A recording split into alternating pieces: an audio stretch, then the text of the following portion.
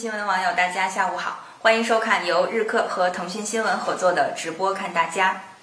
那现在有一个现象呢，不亚于前两年的《清明上河图》的一个故宫跑，那就是故宫展出的“千里江山青绿山水”这个画作的一个引发的故宫跑。那就《千里江山图》呢，还有其他一系列青绿山水画呢，我们也想更多的再了解一下，它为什么又再度的能够引发这种故宫跑。那今天我们也请来了呃邵燕老师。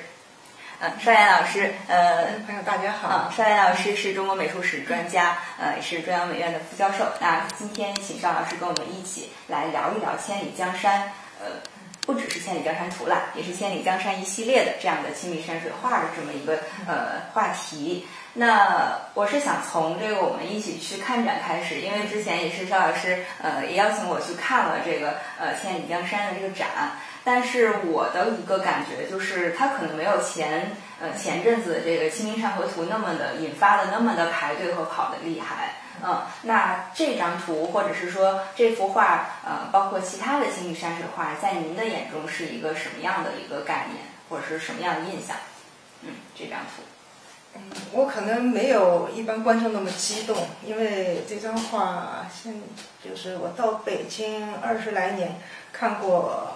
好几次，包括他到辽博去展览的时候，我也看到过。总共印象当中能数出来至少有四五次吧。呃，当然，呃，这次的展会和以前不一样，不光呢是特别设计过的，和在一个群展里面，他在一长列展柜里面站一段，那那个情形肯定很不一样啊。呃，所以这次看的是更清楚了。当时第一印象比较深的是。发现卷上的横纹比较明显，所以就啊，记得您也讲过，说呀，横纹变多了啊，这肯定是展出的，又见你一次，又老了一点儿。哦，对对对，啊，那呃，你这个讲座啊，要呃要我说说呃《千里江山图》中所画内容呢，我事先也做了点儿准备啊，嗯，但是呃我自己看画，尤其是看山水画，倒不是特别关注内容。当然，等一会儿我们会讲这个画中内容，但是。呃，我自己呢是，反而不是特别关注内容。这可能就像苏东坡说的“观世人画，如阅天下马，取其意气所到”。啊，虽然《千里江山图》并不是苏东坡嘴里说的那种文人画，它属于宫廷绘画，而且呢细节非常丰富，但实际上它给我们的印象。还是整体上一种宏伟的感觉，这也是一种一种气啊，就这张这张画的气场非常足，可以说是气势恢宏。虽然笔墨细腻，呃，技法精致，在里面可以找到无数可以供细细品味的细节，但是呢，整体上我觉得它传达的是一种阳刚之美。哦。是不是说它的线条其实的不是说呃像我们看的水墨画上那么柔和？您讲的阳刚之美是不是也有一种力量感在里边？阳刚之美呢，我觉得是艺术品能够突破它的物质的局限，给人无限丰富的精神世界的那种遨游的空间。嗯嗯，这这是《千里江山图》做的非常好的。大家都说《千里江山图》是一件巨制。嗯嗯啊。这个它的高度达到五十一点五厘米，这个在现存的宋画当中也是属于呃非常大的一件卷子，就是通常所说的高头大卷。那么它的长度呢，呃一千一百九十一点五厘米，就还差一点儿，不到十二米。嗯。这个当然也很长啊，但是十二米呢，我们折算一下是一千二百厘米，还不到一千二百厘米。所以我也经常跟人开玩笑说，这是千里江山，是厘米的里。但是呢，没有人会怀疑他画了千里的江山啊。呃，南朝有一个山水画家叫钟炳，也是我国早期山水画史上非常重要的一个人，呃，叫钟炳。他曾经说过啊。一个竖画三寸，当千仞之高啊；横墨数尺，体百里之迥。所以呢，呃，看画的人就不要管这个画的大小，只要看艺术水平是不是达到了，能够呈现自然之势啊。所以，以有限的画面能够展现江山如此多娇的无限风情，这就是非常高明的艺术手法。嗯，是的。那我们这边。呃，也是也给大家准备了一些我们这个图，我们等一下可以看一看，呃，千里江山它的呃每一图的细节，对它的这个每一部分它讲的是什么？呃，我其实之前也是做了一些功课，它是讲的就是说《千里江山图》呢，呃，它的是特别有音乐感的，就是好像好像是非常的嗯。它的，因为我们现在可能呃不是很方便看一个它的整体，呃，但是我们可以看到它其实非常有乐感，它可能会被人形成是一种乐章的那种感觉。像我们呃也这个这边呢也也会提到说，开头第一部分以群山为序，就好像是一个乐章的开头。呃，那您可以结合这个给我们说一说《千里江山图》它讲了一个什么内容？你可不可以把我发给你那张高清图？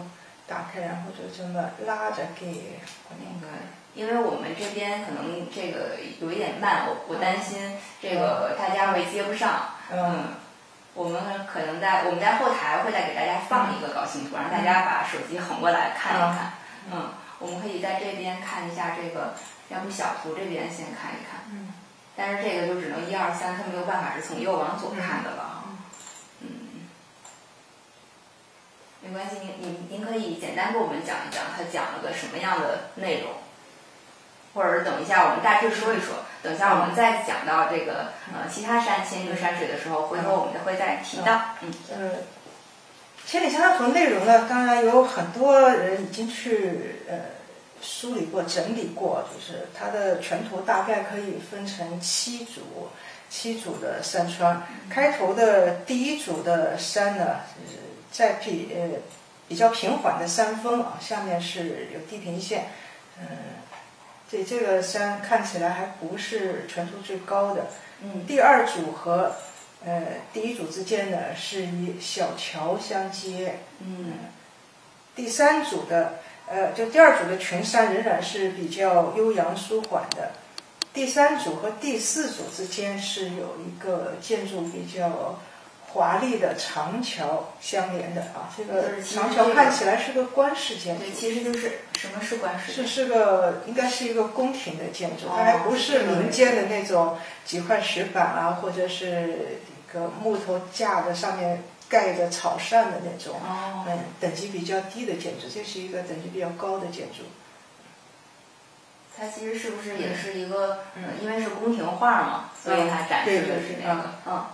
那么第三段、第四段的山峰呢，就一个个兀立起来的，人看就是冲出地平线很高啊，整幅画面也就走向高潮。但是最高的主峰是在第五组，嗯，这是全画最高的，而且大家看明显是有一个层次的，就前面是一组，后面是。凸起的这个主峰，如果把这一段单独切下来，其实是很像北宋流行的那种大山堂堂的构图。就是按北宋人的说法，这是有君臣关系的。前面的比较矮的山是是臣啊，然后呢，一个傲视群雄的，这是一个啊处于君的地位这么一座山。嗯。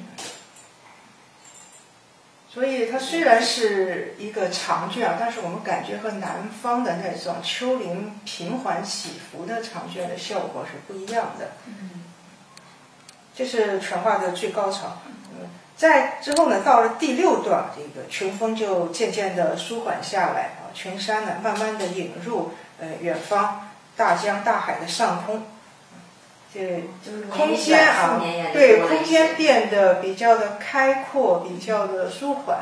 那么视觉节奏呢也缓慢下来，使得欣赏者激动的内心也渐渐的平静下来。最后一组啊，画家用有比较浓重的啊青绿色画出近处的最后几座山峰就好像到呃全卷结束时还有悠远的回声，令人难忘。啊，嗯，从现存的画面，只能说是从现存的画面来分析的，我觉得很像传统诗歌里面讲的起承转合啊，这样一个完整的过程。起起头这这第一组山峰其实就挺抓人眼球，这个头起的好。那么后面承是我们说的第二组、第三组，这样慢慢的铺垫到了高潮一个第三呃这这个中间这个第五组的高潮，然后高潮过后马上就变成比较平缓、比较开阔，这是一个转的过程，最后这个结尾和。嗯，它其实也是一个，就是其实是不是一个结束？它好像还会再延伸出去一样。对，这这是我刚才说的，只能是从现存的画面，因为这些长卷的现存比较古老长卷有很多可能都遭到过裁割，所以我们也也无法知道这幅画是不是它最初的特别完整面貌，也也可能原来呃会更长的，现在看到只是一定的残余啊。但是它的基本构图手法好像就是这样，呃和。《千里江山图》类似的另一件名作《清明上河图》，它的构图是不是遭到过裁切？这也是学术界争论不休的一个问题。好，那其实我们刚才已经大致看了一下，就是它的内容分为哪几段。那有没有一些比较有意思的细节？您您可以跟我们说一说的？就比如说，呃，像。像这种船的吃水啊，然后这种颜色，或者说您还觉得哪一些比较有意思的点？嗯，这这些局部我们都可以看一看。就整体看这幅画上，除了山形水口的变化呢，还点缀着很多人类活动的痕迹啊。比如说刚才我们看到的桥梁，桥梁实际上是有建的比较呃，就建的比较简单的那种。民间的桥梁也有那个带有比较浓厚的这种呃关键桥梁色彩的建筑比较精致的桥梁啊，船只这个船只呢，这三条船只你看一下，特意的选用三个不同的角度来表现。其实我们在明清的很多画里面看到岸边泊着呃几只船只，就会大多会采用比较省力的，就是。好像我们现在叫 Ctrl C Ctrl V 啊，就同一条船，从同一个角度画三遍，稍微做点改变。但是这儿呢是选了三个完全不同的角度，这里面恐怕是有一点炫技的成分。嗯，呃，对了，我记得就是那天跟您去看画的时候，有一幅图，我我不太记得叫什么，就是它的船好像是也是像这个这样子的形状，就中间这个这样的形状。呃，您讲是这种画法是叫，就是其实这这种画法其实是比较难的，是吗？呃，对，嗯嗯。因为这个船的形状要从侧面画，它就是一个两头翘起像莲花瓣儿一样的。那么这儿呢是又要画出它的长度，这长度实际上是在平面的画面中表现出进深，然后呢这儿又是翘起来的，而且这个船板实际上是要有厚度的啊。它其实是一个立体感是比较难表现的。对，嗯，那还有对像像这幅也是，这幅也是它人们的一些生活图景。对，小船的，这是两种不同的船，这就是渔民的小舢板，但是这种船呢是内河航运，吃水可以比较深，装载的货物也比较多。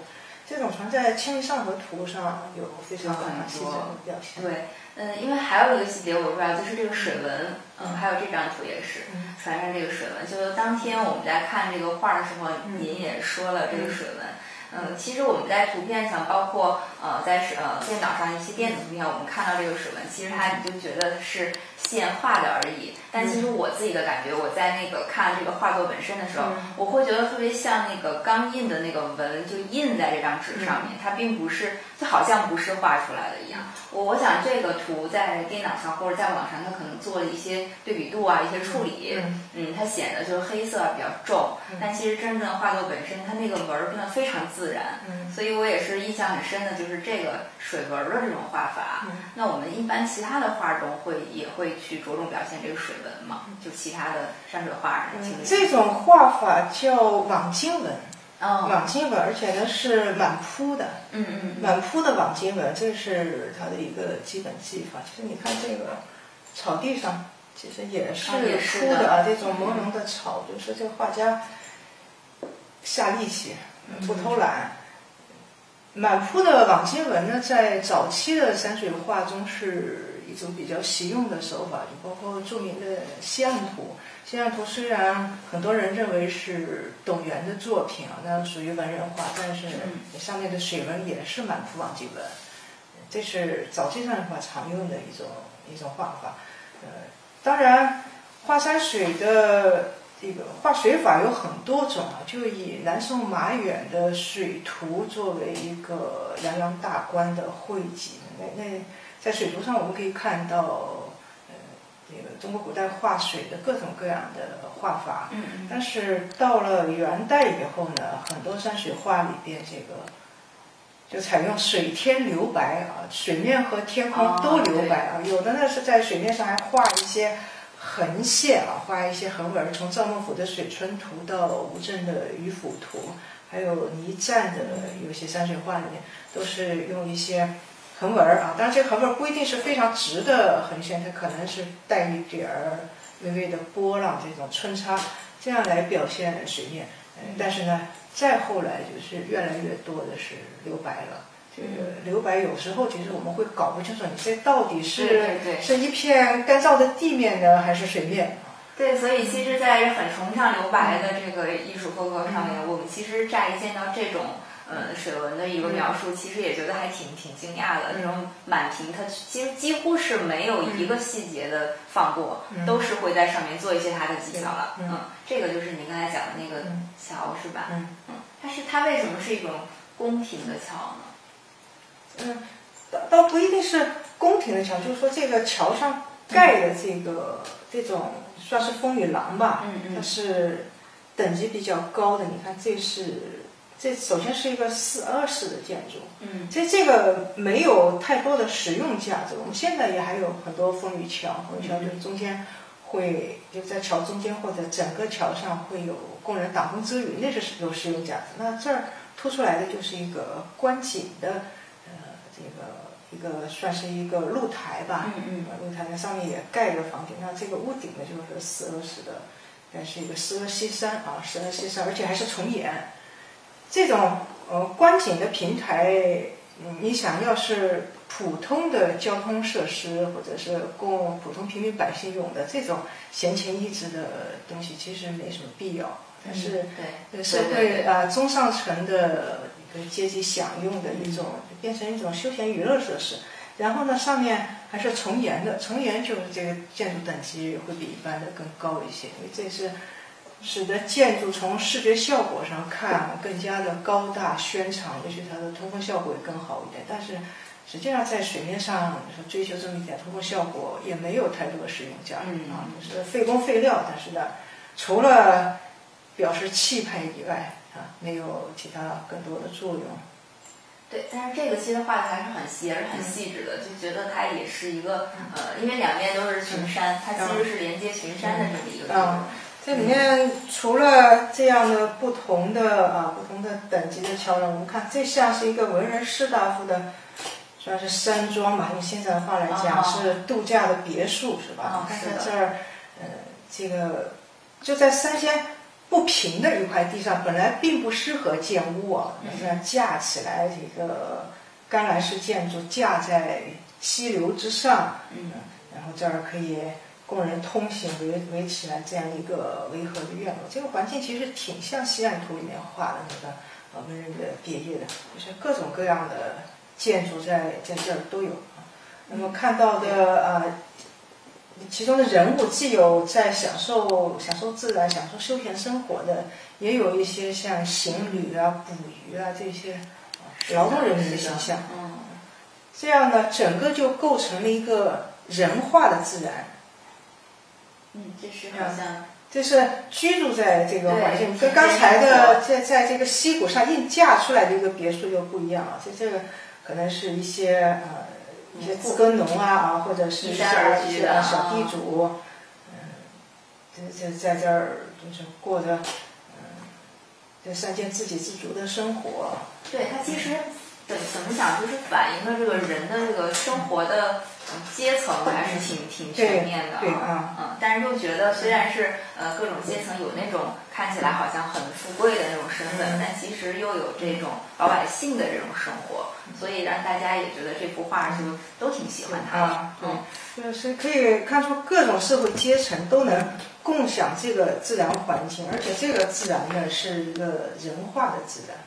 就是我们一说山水画，以为画的就是自然环境。其实中国的山水画，不是画自然的原生状态，而是人类适度干预下改造过的自然。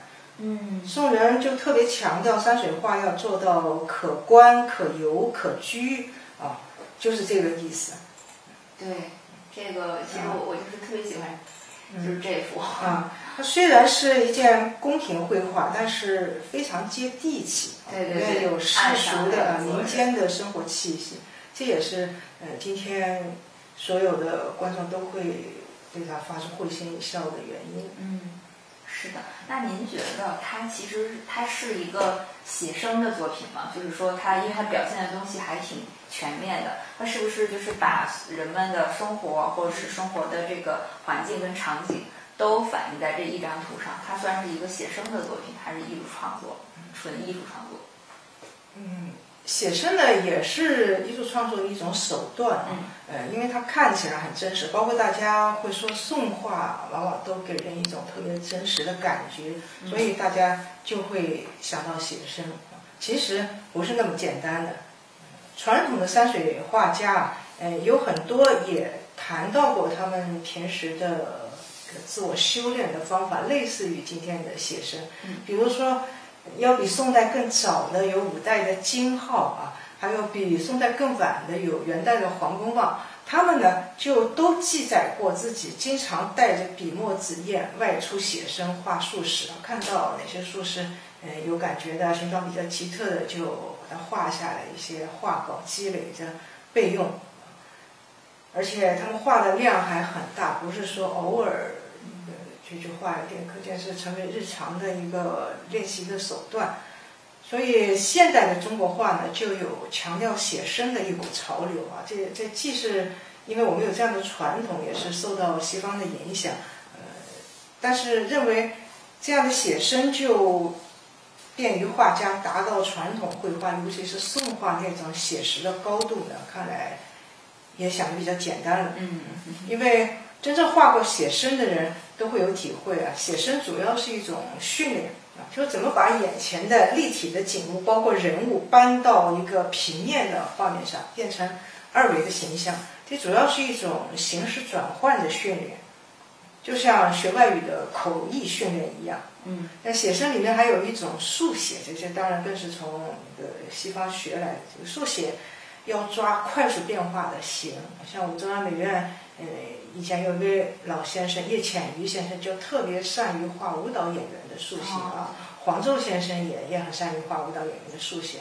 这种速写呢，就相当于口译里面的同声传译，它要反应非常快。嗯但是呢，你外语再好，怎么写出优美的文章来？这不是通过口译能训练出来的。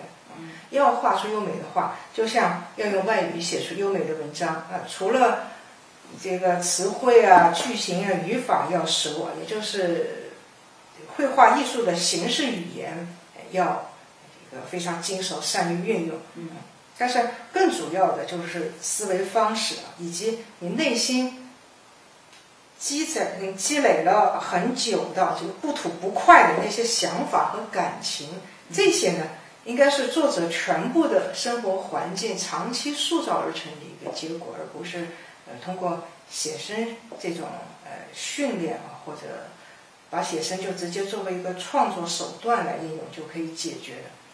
西画的写生呢，就比较容易造成画家脱离了对象或者模特，就画不出虚构的东西了。所以我们看西方艺术家传记，都会呃很强调他的模特是谁。有的艺术家很幸运，一辈子家庭美满，太太给他当模特，他就画出很多好画。然后太太死了以后，这这怎么办？像伦勃朗后来晚年就画好多自己的自画像啊。呃这这个当然不是不是说他们没有想象能力啊，但是这这种长期的训练以后形成这么一种创作习惯。有些现代的中国画也是这样啊，那些用西式的写生稿堆砌而成，最后用彩墨材料画出来那些所谓中国画，其实我们一眼就能分辨出来，跟传统的这些很不一样啊。所以中国传统绘画实际上呢，我想是通过观察自然啊，在观察的时候，你手上画一点也好，只只是在心里默记也好，都可以。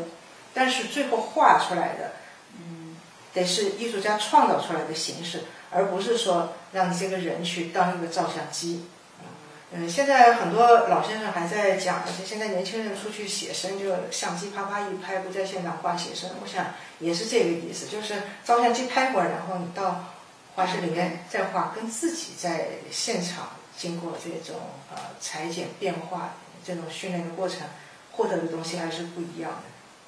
写生的关键呢，要呃动眼、动心、动脑，能同时动手当然更好，但是这个过程就。不一定说是啊，我们今天背个夹子出去写生，在室外待一天半天就完成。你可能出去看看，回来想想，再动手画画，再出去看看，回来想想，改改，或者就把那些外面记录东西全丢到一边。另外画一些你脑子里想出来的稿，这是一个会是一个很长的过程。你要把它称为啊写生也可以，但是我我觉得至少和现代美术或者西方美术里说的写生就不是一回事。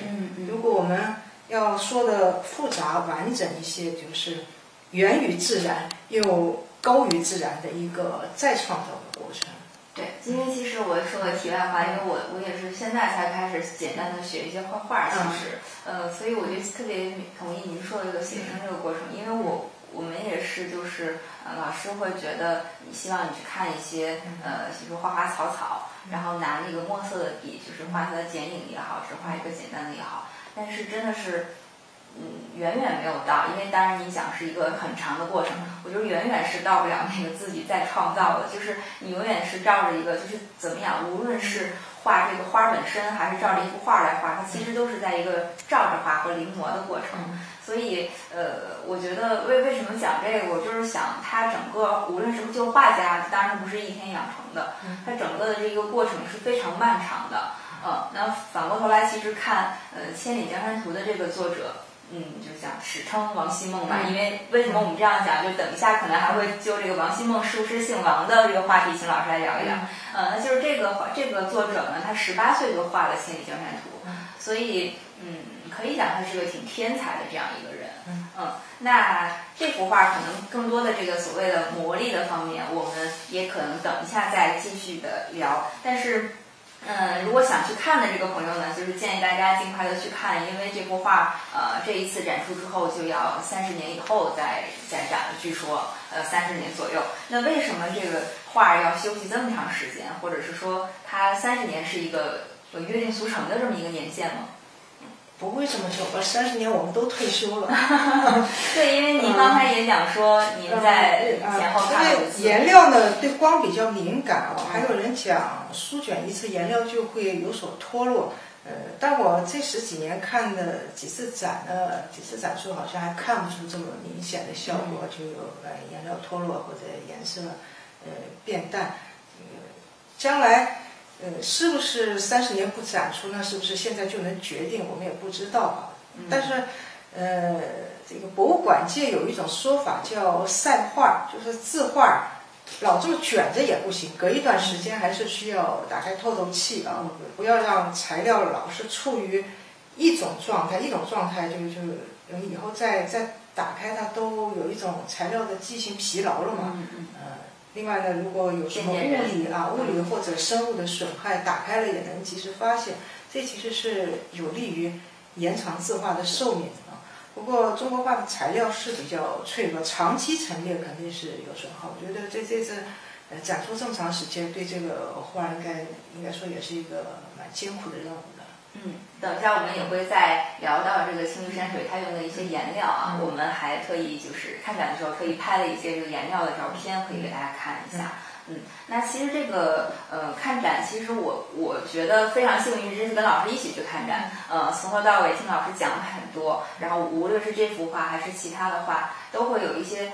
就是很很哇，还有这样的这种说法，因为因为毕竟不是就是接触这种行业的，你是不懂的，只是可能看着一幅画觉得很漂亮而已就过去了。呃，那其实那天跟老师去看也特别多的收获。嗯，就是呃，可是我我我就想问老师，如果说像我们这种去看展的这个群众，他需要具备一些什么样的基本的或者说前提吗？就看展前提，还是说那个不需要直接去看就好了？还是需要需要一些美术素养吗？我觉得首先你你只要有兴趣啊，有兴趣都可以去看，没有那么下，也没有那么高的门槛。嗯只不过不同的观众各取所需，他获得的一种享受、获得的收获肯定层面不一样。这次这次展览呢，就是其实它的策展思路非常巧妙，因为能够适应不同层次观众的需求。呃，这次选择的呃《千里江山图》和《青绿山水》这个《青绿山水》的视觉效果都是比较漂亮，甚至是比较震撼的。啊，那即使是在一个古画那种不是特别强的灯光下，也仍然是光彩四溢，就很适合展出。我们看，同时在武英殿展出的赵孟頫大展啊，还有上半年在武英殿展出的私生展，就比较专业，那面向专业工作者、爱好者多一些。呃那那些呃，这个赵孟頫的展览里面也有一些青绿色色作品，但是呃，也有很多书法。像四生呢，就以水墨山水为主，书法和水墨山水都适合读啊，一个阅读的读。而青绿山水呢，是适合看，因为它的视觉效果强烈，即使没有多少知识准备的一般观众，实际上也可以获得视觉的愉悦啊，这不是个坏事。当然，我们说，呃，现在要去看个展览很不容易啊，别说去排长队，就是不排队进城一趟也花不少时间。有的外地观众还是特意赶到北京来啊，所以能做一些知识准备，看一次收获当然更大一些。当然，要每个人都经过长期学习，获得非常系统的知识，甚至记忆很多知识点，这个也不太现实。所以我们今天这个直播的形式呢，就是能够在这方面给大家一些快速易得的帮助。嗯，那其实我也想知道，就是您的学生，因为那天也一起去了，嗯呃，您的学生看完展之后有没有跟您讲什么他们的收获跟回馈的东西？呃，那倒还没有，因为他们对这些图片，实际上大部分都已经比较熟悉了。嗯这是专业的学习者去看的，很多是是一个印证的过程。当然，这这次展，呃，我们和普通观众不一样的，可能是普通观众特别看重那些呃宋代比较高古的作品。我们主要是去印证我们之前看到过的图片，甚至是有的已经看到过很多次原作展出啊，不断的。嗯，修正自己的认识或者产生一些新的想法，倒是那些一般观众不太会注意到的比较晚期的作品呢，呃，我们反而会花更多的时间去讨论，因为这些晚期作品因为研究的人少，其实有在发现问题也很多。嗯，是。那其实我们也看到，在看完《千里江山》那个展区之后啊，嗯再往后看，其实人就很少很少了，对大家其实很少关注到了。嗯，那您觉得这次展览的话，它的一个呃，或者说作为书画类的展览，它有一个什么样的特点？因为我觉得它好像不是一个按，呃，怎么说，就是完全按照这个时代啊、时间的这种脉络做的一个展览的。嗯，这个展览实际上是个专题展，但它也是按美术史脉络布置的。但这个脉络其实也有一条时间线路在里面，但但又不完全是按照朝代，而是按照风格技法的发展。嗯西方的博物馆，像卢浮宫的，呃，很早就确立了按美术史脉络布展的原则。呃，其实我们现在很多博物馆的常设展也基本上都是按美术史脉络来布展。像上海博物馆的书法展厅、绘画展厅一个常设展，它也是按美术史脉络。但是美术史本身很复杂啊，有作者、有作品、流派、现象、流行主题。我们经常看到的一些特展是按作者啊，也可以说是古代艺术家的个展或者联展，像赵孟頫展、四生展。那赵孟頫可以说是赵孟頫的个展，四生可以说是四生的联展。虽然这四个人不呃那个不是在一个艺术流派里面啊，并并不在一个艺术流派里面，但是我们可以把他们的作品集合起来做一个联展。而青绿山水呢，则是一种技法的展览啊。或者说宽泛一点，是属于按风格来筹展。按风格。那它还也还是有时间脉的，就是第一展厅是呃那个比较早期的啊，那个那对后面呃第三展厅呢就是比较晚期的，到第三展厅就没有多少人去看了。对，但其实那个我们也是想，除了《千里江山图》，也是希望能呃，大家也是更多的，如果有机会看看其他的画作，《千里山水》其实也是非常棒的。嗯那我们呃聊了这么多关于千里呃千里江山和青绿山水，我们可以稍微休息一下。嗯嗯，那接下来我们再继续聊呃青绿山水呃为主题的其他的画作。嗯，老师休息一下。好，嗯。好，这个可能有问题，我就嗯稍微跳。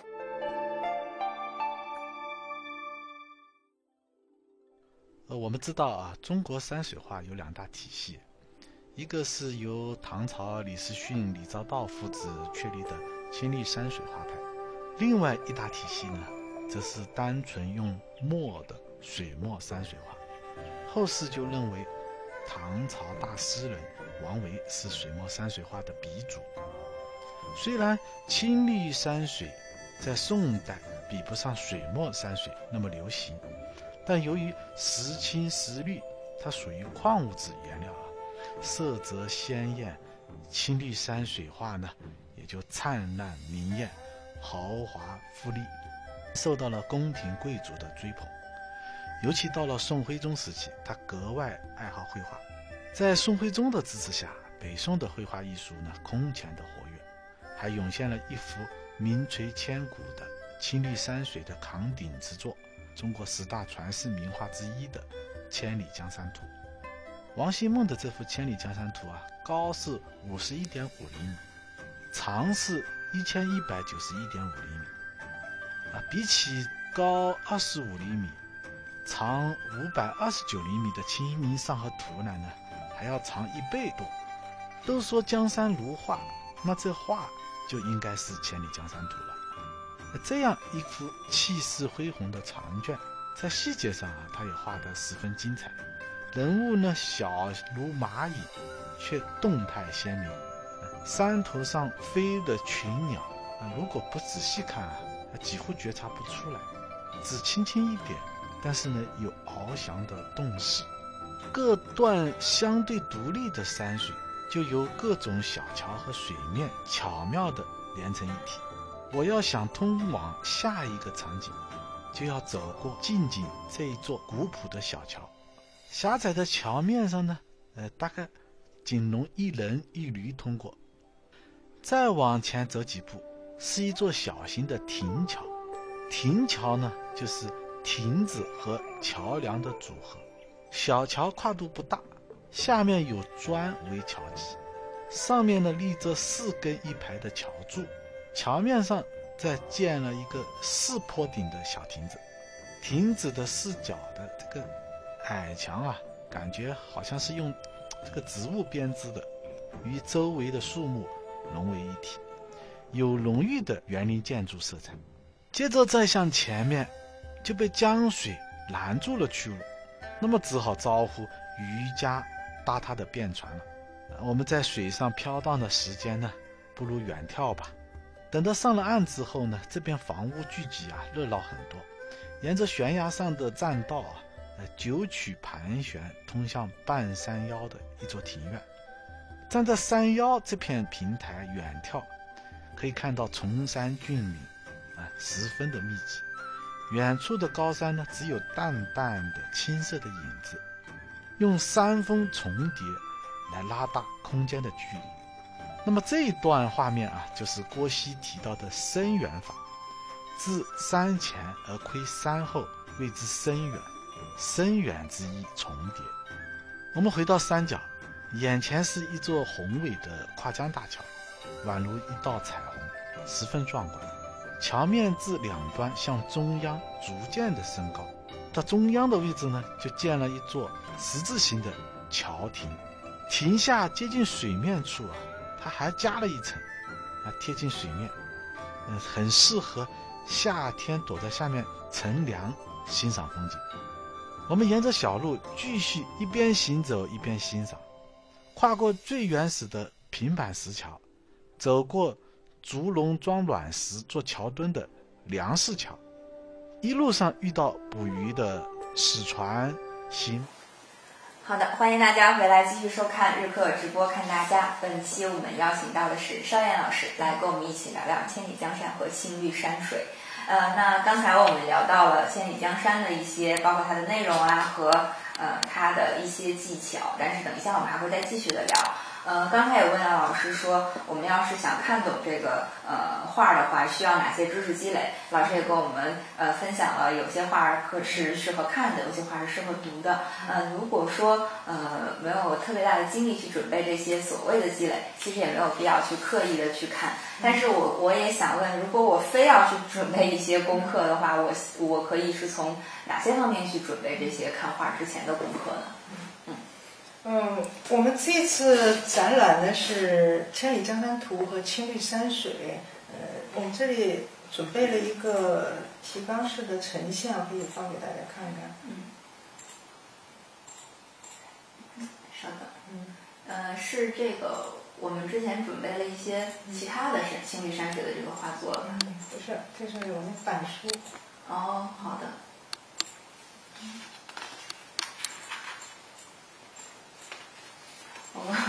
实我这儿我这儿有一个嗯打印出来的纸，也可以放给大家看。好的，没关系，我们稍等一下。那个哪儿去了？你先把这些都关了。对我们这个可能刚才也是方便给大家看，所以就都把它打开了。嗯。然后我们现在也给大家找，因为老师之前准备了一个板书，那个板书就是呃大家可以看，方便大家看得清楚一点啊。这个是吧？对。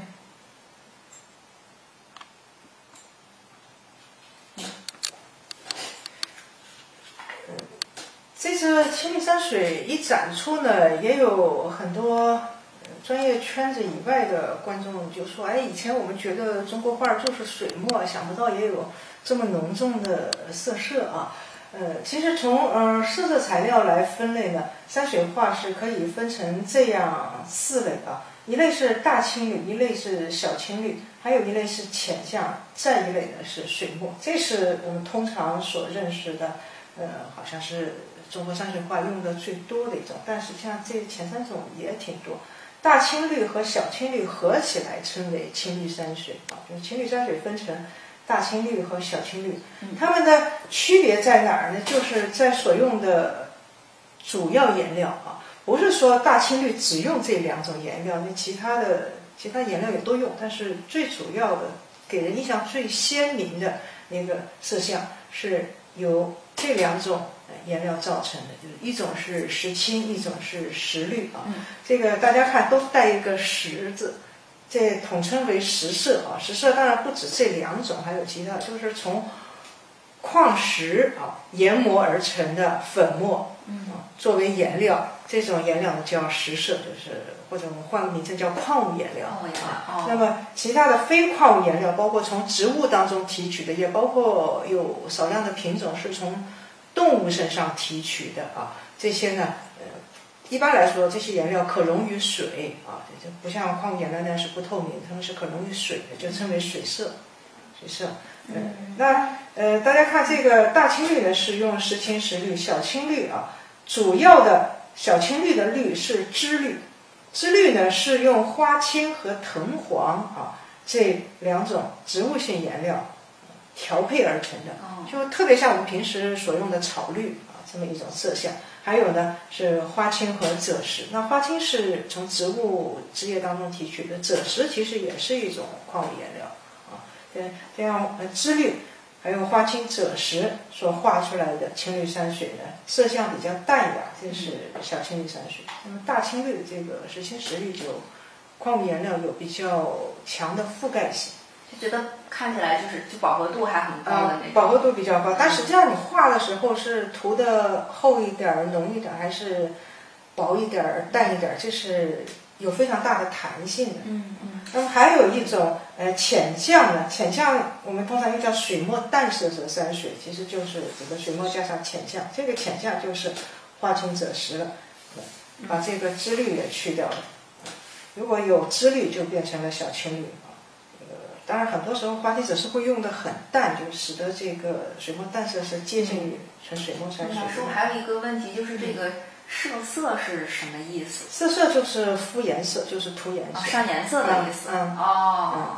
哦，怪不得那个大清律上面写的这个重奢色，啊，就是这个颜色，就是可以理解成颜色湿的比较厚，比较厚重啊，比较厚重。但关键还是因为这两种颜色都不透明。哦哦哦，那就是它是为什么要有这两种颜色？就因为它不透明，我就是要就是表现一个不透明的效果嘛。不透明才有厚重的效果。哦，对，就是你你夏天你要是穿的那种纱的衣服，你就觉得比较飘逸嘛。对对对。今年流行纱裙啊。但如果是我们冬天穿这种那个，今天这样我们都穿着棉麻的衣服，那那就是，那它对于这个光的吸收效应肯定就要比那种反光的材料显得要要厚重一些。厚一些，就是显得这个天气凉了，我们穿一点这样的衣服。哦，好的，明白。嗯，那下面我们要看几幅画，还是继续往下板书的内容？呃，可可以继续，呃，那个还可以看一些画。好的。啊，呃，这儿大清的代表作呢，像《游春图》《江帆楼阁图》啊，这两幅是因为在台北故宫博物院，嗯，呃，这次没有展出。那呃，《游春图》和《千里江山图》这一期都展出了，《江山秋色图》是下一次换展会展的。嗯，这个就是先生。对啊。这个小青绿的《燕江叠嶂图》《万壑松风图》是现在都已经展出了。浅绛不是我们这次展出的主题，但是可以呃介绍一下。据说是元代画家黄公望所创造的。那么在元四家里面，就是和黄公望呃同时活动的元末的那些山水画家里面，王蒙用浅绛其实是用的比较多的。到明清呢，就成为一种很流行的色色画法。所以这个展览把明清那些不是画浅绛，而是画青绿的画收集起来展览，我觉得也是很特别。因为过去你看明清从整个比例上讲，肯定是浅绛和水墨比较多，青绿是比较少的。过去关注也不多。嗯，这是《江山秋色图》啊，就是刚才那个刚才那个这幅啊，大青呃大青绿。嗯，对你把它嗯放大看，我们可以。呃，比如说这，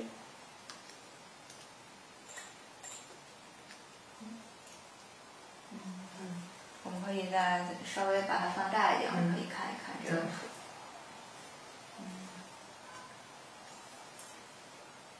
这个的话，我们是要从哪里？它使用的也是石青、石绿色色，但是呢，涂的就比较薄，不像千里千里江山那么强的覆盖性。下面的这个水墨，整个画的笔法都呈现的比较清晰。它是也跟那个画画的材料，就是画画那画布、画布、画纸的材料有关。都是卷本，他们都是卷本啊，都是卷本啊。不管涂的厚、涂的薄，实际上到最后还都是需要复勾的。你看这这些线条很清晰啊，这些呃山石的轮廓和结构的线条，实际上还是需要复勾的。就是涂的再薄，这也是。有覆盖性的实色，涂完以后，原来打底子的那些轮廓线、结构的线条，包括这个表现画面这个石头肌理的线条，都会有不同程度的被覆盖，所以呢，就需要复勾啊，复勾这就再在上面线条再勾一遍。对，其实我也在跟老师看展的时候，就经常听到老师和学生们一起在聊一些比较专业的话题。你可以看到这个地方就好像就没有复勾，那么。下面线条就隐隐约约被盖住了，那这个这个地方肯定是复勾过的，复勾的，嗯，呃，复勾其实就是为了让那个它的再突出出来，其实是它一开始的一个设计。对，嗯，这张画的话，我们如果看，呃，这个要，它它大概是个什么样的什么样的内容呢？山水画。山水画这张画呢叫《江山秋色》，因为。看起来比较淡嘛，好像是秋霜暮落的样子。但是也有学者说，其实应该叫江山春色，认为青绿画的全是春色。哦，但他这学界有不同的争议。而且这幅画是旧传为。南宋初年的中式画家赵伯驹所作，我们等一会会看一幅画叫《万松金阙图》，那个作者是赵伯树，那是大家公认的，都是认为是赵伯树的真迹。那么赵伯驹是赵伯树的哥哥，呃，这这兄弟俩都是南渡到了南宋的中式画家啊，但是这件文化呢，现在经过研究，学界比较一致的看法，它并不是赵伯驹的作品，它年代比赵伯驹要早，比这个《千里江山图》还要早，应该是早到北宋中期啊，比《千里江山图》还要早，大概早一辈人或者再再稍微长一点的时间。嗯，但其实我们就是在看这些画呢，就是我可能问这个问题有点外行，我就是想知道，嗯，为什么会认为它比赵伯驹的年代要早？就是他从哪些，比如说哪些点能能能感觉到，呃，他其实不是赵伯驹的这个作品，他可能该在他更早就有了。这儿虽然敷了一些青绿的四色，但是还是一件非常完整的水墨山水，就它的骨架。水墨山水的骨架是表现的非常完整，甚至是非常充分的。通过这个水墨山水的年代特征呢，它是呈现北宋中期的特征。它比较接近北宋中期的哪一个划时代的大师呢？那个大师叫郭熙。嗯啊，呃，山水画史上有一些突出于。时代一般水平之上人物，就像我们刚才在《千里江山图》中看到的主峰一样，这些大师呢，我们把它当做时代标杆来使用。那么郭熙就是这样一个时代标杆啊。这幅画的风格呢是非常明显的受到郭熙的影响的，嗯所以呃，我们觉得它的年代应该是比较接近郭熙的年代。嗯呃，实际上这儿这儿可以多说几句啊，《千里江山图》基本上也还是。学过溪的，就是《千里江山图》下面的水墨骨架也还是郭熙的路子。嗯，那么再后来到我们后面介绍李唐的《万壑松风图》就变了，就是学放宽了。呃，这这个这里面，呃，我认为有些故事可以挖掘，等一会儿我们再讲。好的，好的，嗯，那我们也跟着老师的这个笔记，然后往下面可以再看一些画，嗯。接下来我们这边有没有什么也给大家讲一讲是大青绿的？嗯，呃，江帆楼阁图、明皇，呃，这这三幅，这幅现在展出了啊，呃，留存图啊，还有像江帆楼阁和明皇信署，想一下。好，可以帮我看一下明皇信署。嗯，这个是呃这次没有展出，但是也很有名的一幅画。嗯。嗯，他可以看到这个是，哎，其实山没有那么。你你先把这个关掉，我好像找了一幅，嗯，更清晰一些的图片。嗯，我们可以。还是就是刚才那一幅，是这个吗？对，这幅，这幅的啊颜色是有点调的过重了，但但是比较清楚的。我们可以借鉴刚才那幅画的颜色。嗯。它其实这个风呃山其实是很感觉很锐的，没有那么的缓，非常装饰化，非常装饰化。另外呢，大家看这个山体是勾勒了以后，基本上颜色就是平涂上去了。当然不是说涂的特别特别平、特别匀，但基本上就是这么涂啊。它没有一个水墨山水的完整技法，就是勾春染点插在下面搭的一个骨架。嗯，这是。呃，唐代技法，这这幅画到底是不是在唐代制作的？这就可以讨论，但是技法是还是有唐代特征的。嗯，我们再看一下一个嗯《游春图》。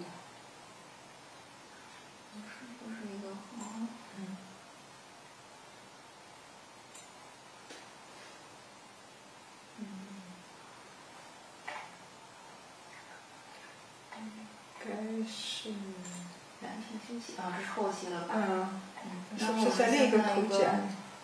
嗯，好，在另外一个图角我们可以找找看。在不在这边，不在这边，有可能嗯，没关系，我们可以先看别的。嗯，先先先找，你到另一个图角里找，把这个搜下。嗯，给大家找一下。可能刚才我们那个，可能刚才我们这个考的过程中有一点那个，没关系，等一下我们可以再给大家看。嗯，有水土。你把这个文件夹先收了。没有，应该就是这一个，我看。有。嗯。有别的都没有放过来。对，这个可能这边儿，嗯，是不是我们在选的时候那个拷过来没有那个清晰版可能没有过来。嗯。嗯，等一下，老师，嗯这两个也，嗯，这两个也不是。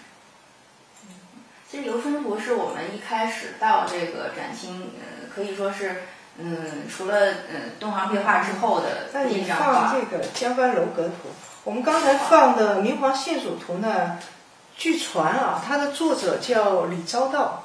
这个《江帆楼阁图》呢，也是在台北故宫博物院。据传它的作者叫李思训啊。首先你你看到这也是满铺网金纹，水纹啊，也是满铺网金水。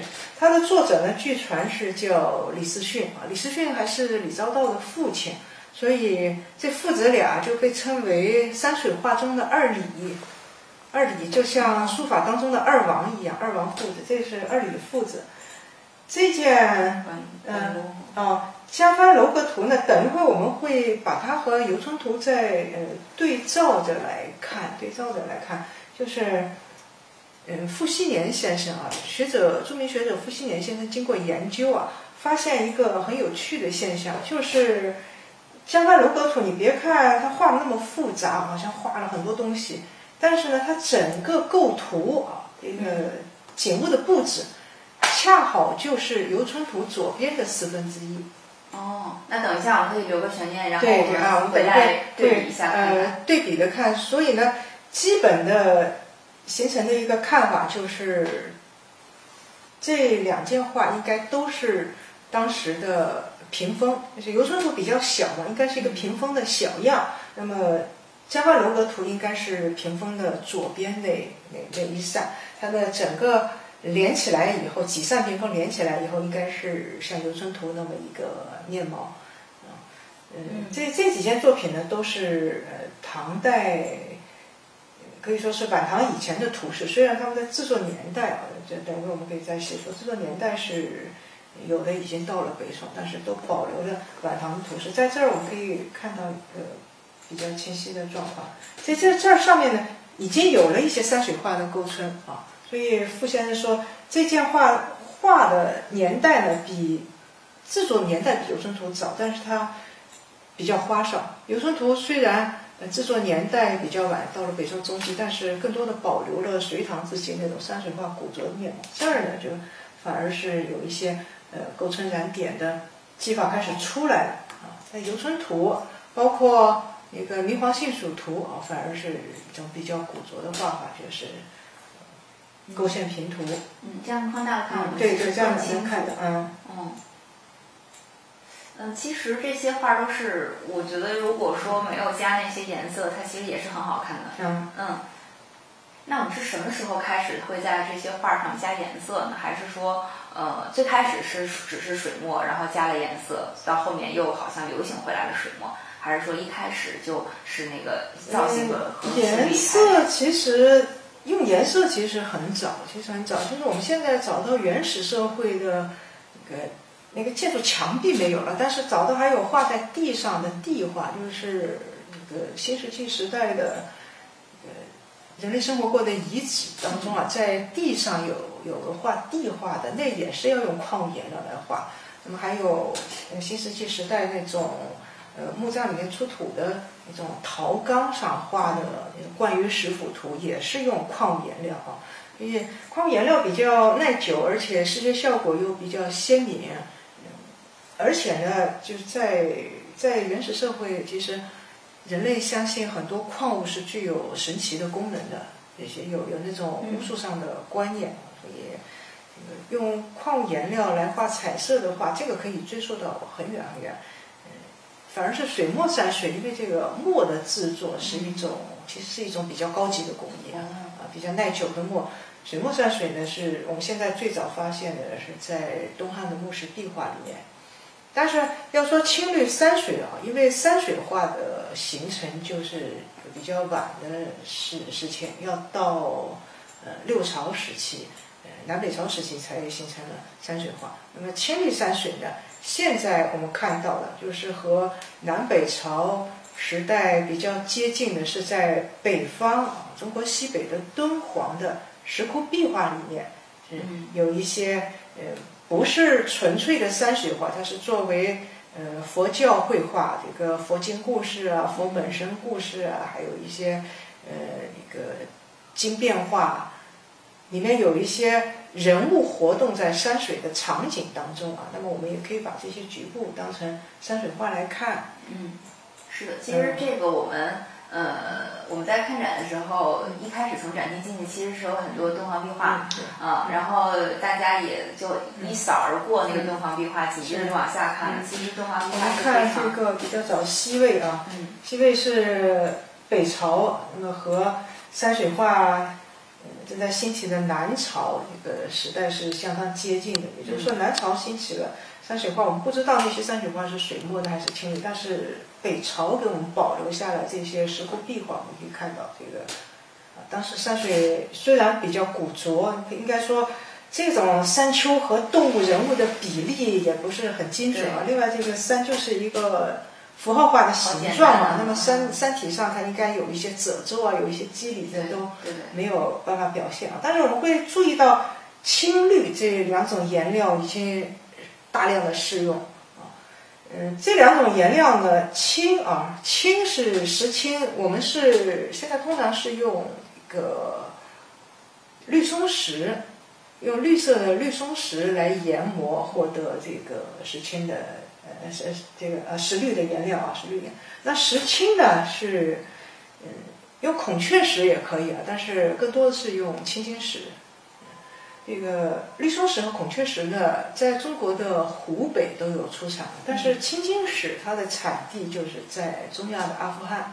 啊，呃，我们不知道当时中原的石窟壁画里面是不是也这样大量的使用这个，青绿颜料。但是从当时的这个丝路的贸易说起来呢，敦煌啊，因为是处在丝路。这个商道的咽喉之地啊，它要获得呃来自阿富汗的青金石，应该比中国内地还更方便、更便宜啊。这可能是当时在敦煌大量使用这种呃这种色料的一个外在的物质保证吧。嗯。对，您当时我记我还记得一点，就是我们在看壁画的时候，您说其实壁画，呃，它可能是在洞里为就是在那个光线下看的，所以它其实呃色彩上其实是更注重鲜艳和那个，其实它的饱和度也是更高的壁画。嗯，其实古代的像哪怕是呃活人生活的这个室内环境啊，这个采光也是比较差的，跟今天的我们这个有。有的这种玻璃窗啊，还有一个电灯照明的室内环境不一样，所以，壁画一般都会用比较鲜艳的颜色。我们现现存的像那个汉代的墓室壁画，有些有些是可以反映当时的，还有还有一些那个宫殿废墟的壁画，呢，能够反映当时，呃，人们在地面上生活环境当中的这种墙壁装饰，也都是用比较。比较浓厚点，色，比如说红黑色调啊，在在秦汉时期，更多的用红黑色调。那么，呃，我们我们可以说是当事人喜欢红黑色调，但是这种色调不容易运到中原去，这恐怕也是一个这个啊一个啊不可避免的原因吧。那，其实但是我们看它这个青绿，其实是格外鲜艳，非常美。这张也是有点那种，这个也是一个壁画。这是这是唐代的壁画。嗯，那其实对，其实大家看展的话，可以真的是，嗯，在一进展厅的那个第一部分，好好的看看壁画，然后可以对这个颜色的感受，呃，除了千里江山图之外，也会有一些新的这个呃感受，然后带着这种感受呢，再接着去看下面的画，你会呃有一些不一样的感觉，至少我是这样。呃，那我们先稍微休息一下，呃，回过头来我们再继续看画，也看一下刚才我们说的呃油书图和其他图的这个对比。嗯，好。用山峰重叠空间的距离，那么这一段画面啊，就是郭熙提到的深远法。自山前而窥山后，谓之深远。深远之意重叠。我们回到山脚，眼前是一座宏伟的跨江大桥，宛如一道彩虹，十分壮观。桥面自两端向中央逐渐的升高。到中央的位置呢，就建了一座十字形的桥亭，亭下接近水面处啊，它还加了一层，啊贴近水面，嗯，很适合夏天躲在下面乘凉欣赏风景。我们沿着小路继续一边行走一边欣赏，跨过最原始的平板石桥，走过竹笼装卵石做桥墩的梁式桥，一路上遇到捕鱼的使船、行路、观景、幽居、打扫庭院、对坐闲话的各色人物，有时翻山越岭，有时弃岸登舟，终于来到了最高峰脚下。啊，这个最高峰，高山之巅，直入云霄，万丈瀑布飞流直下，在山下能感觉自己是非常的渺小。这一段画面呢，用的是高远法，自山下而仰山巅，谓之高远。高远之势突兀。北宋宫廷绘画中的山水啊，有一种极常见的类型，就是用山水经营位置来彰显。君臣尊卑的名分，比如《千里江山图》这一段，主峰高耸入云，雄气而敦厚。那么宫使呢，在主峰下的云端若隐若现，群峰则围绕在主峰四周，呃，依附像朝拜一样。山脚水边则是普通的楼阁水榭，大者尊，小者卑。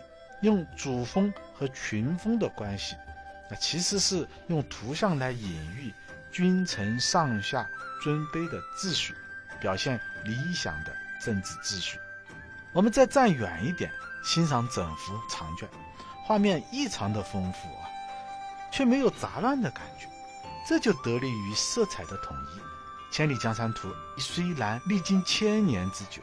但矿物质颜料显示出了不褪色而且覆盖性强的特性，色泽鲜艳，整幅画至今仍然绚丽灿烂，光色可与西方的名画争胜。《千里江山图》与隋唐时期的秦岭山水又有所不同，因为王希孟同时还借鉴了水墨山水画的一些技法，这个色与墨。皴法与色彩相结合，在上色之前呢，先用墨对山石的结构进行皴擦，啊，就是使用了皴法，而不是像隋唐青绿山水那样直接用青绿去单一的平涂。水墨皴法与青绿色色相结合呢，就使得《千里江山图》不仅富丽爽朗。还像水墨山水一样，富有笔墨的情趣。王希孟真是中国美术史上少有的天才，可惜呢，他的生平在史籍中没有记载，也没有其他的作品传世。我们唯一的资料就是在《千里江山图》的卷后，啊，可以看到当时著名的奸相蔡京的一段题跋，啊，他说：“西孟曾是画学的学生。”多次给宋徽宗进献画作，但画得并不完美。宋徽宗觉得他有天赋，就亲自去指导。虽然这个天才少年啊，只留下了这样一幅画，却因为这一幅画而名垂千古。我们纵观全幅，既有鸿篇巨制的雄心，又有笔精墨妙的细心，啊，无论远观还是近读。都令人折服，难怪元代著名的书画家普光就对此画推崇备至，在卷后的题跋中赞道：“我十五岁开始看这幅画，至今啊看了近一百次，真是越看越新奇。他在古今丹青小景中可以独步千载，真如群星中间的一轮明月啊！”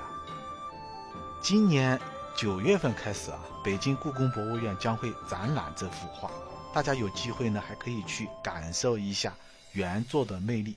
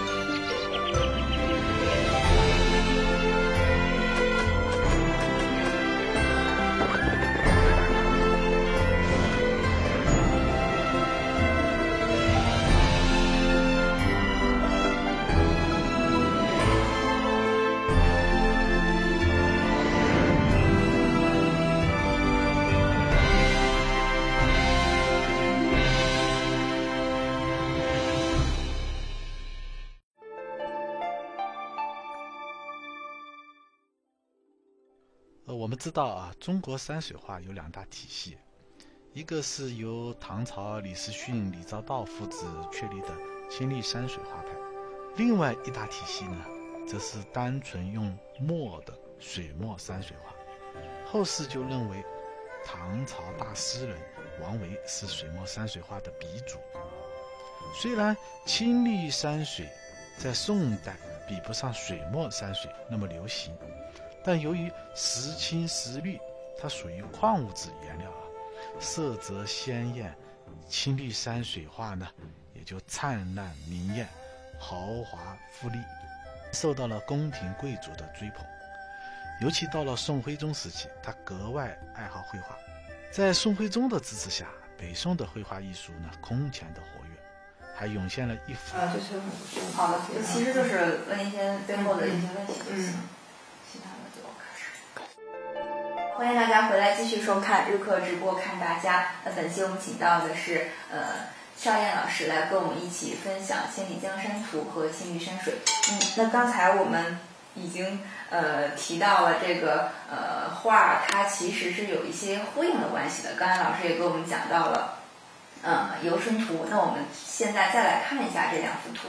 呃，您可以跟我们简单说一说。先看《游春图》，《游春图》大家看到这个。画法确实是显得非常的古拙，嗯，但是呢，游春图的制作年代现在是有争议的。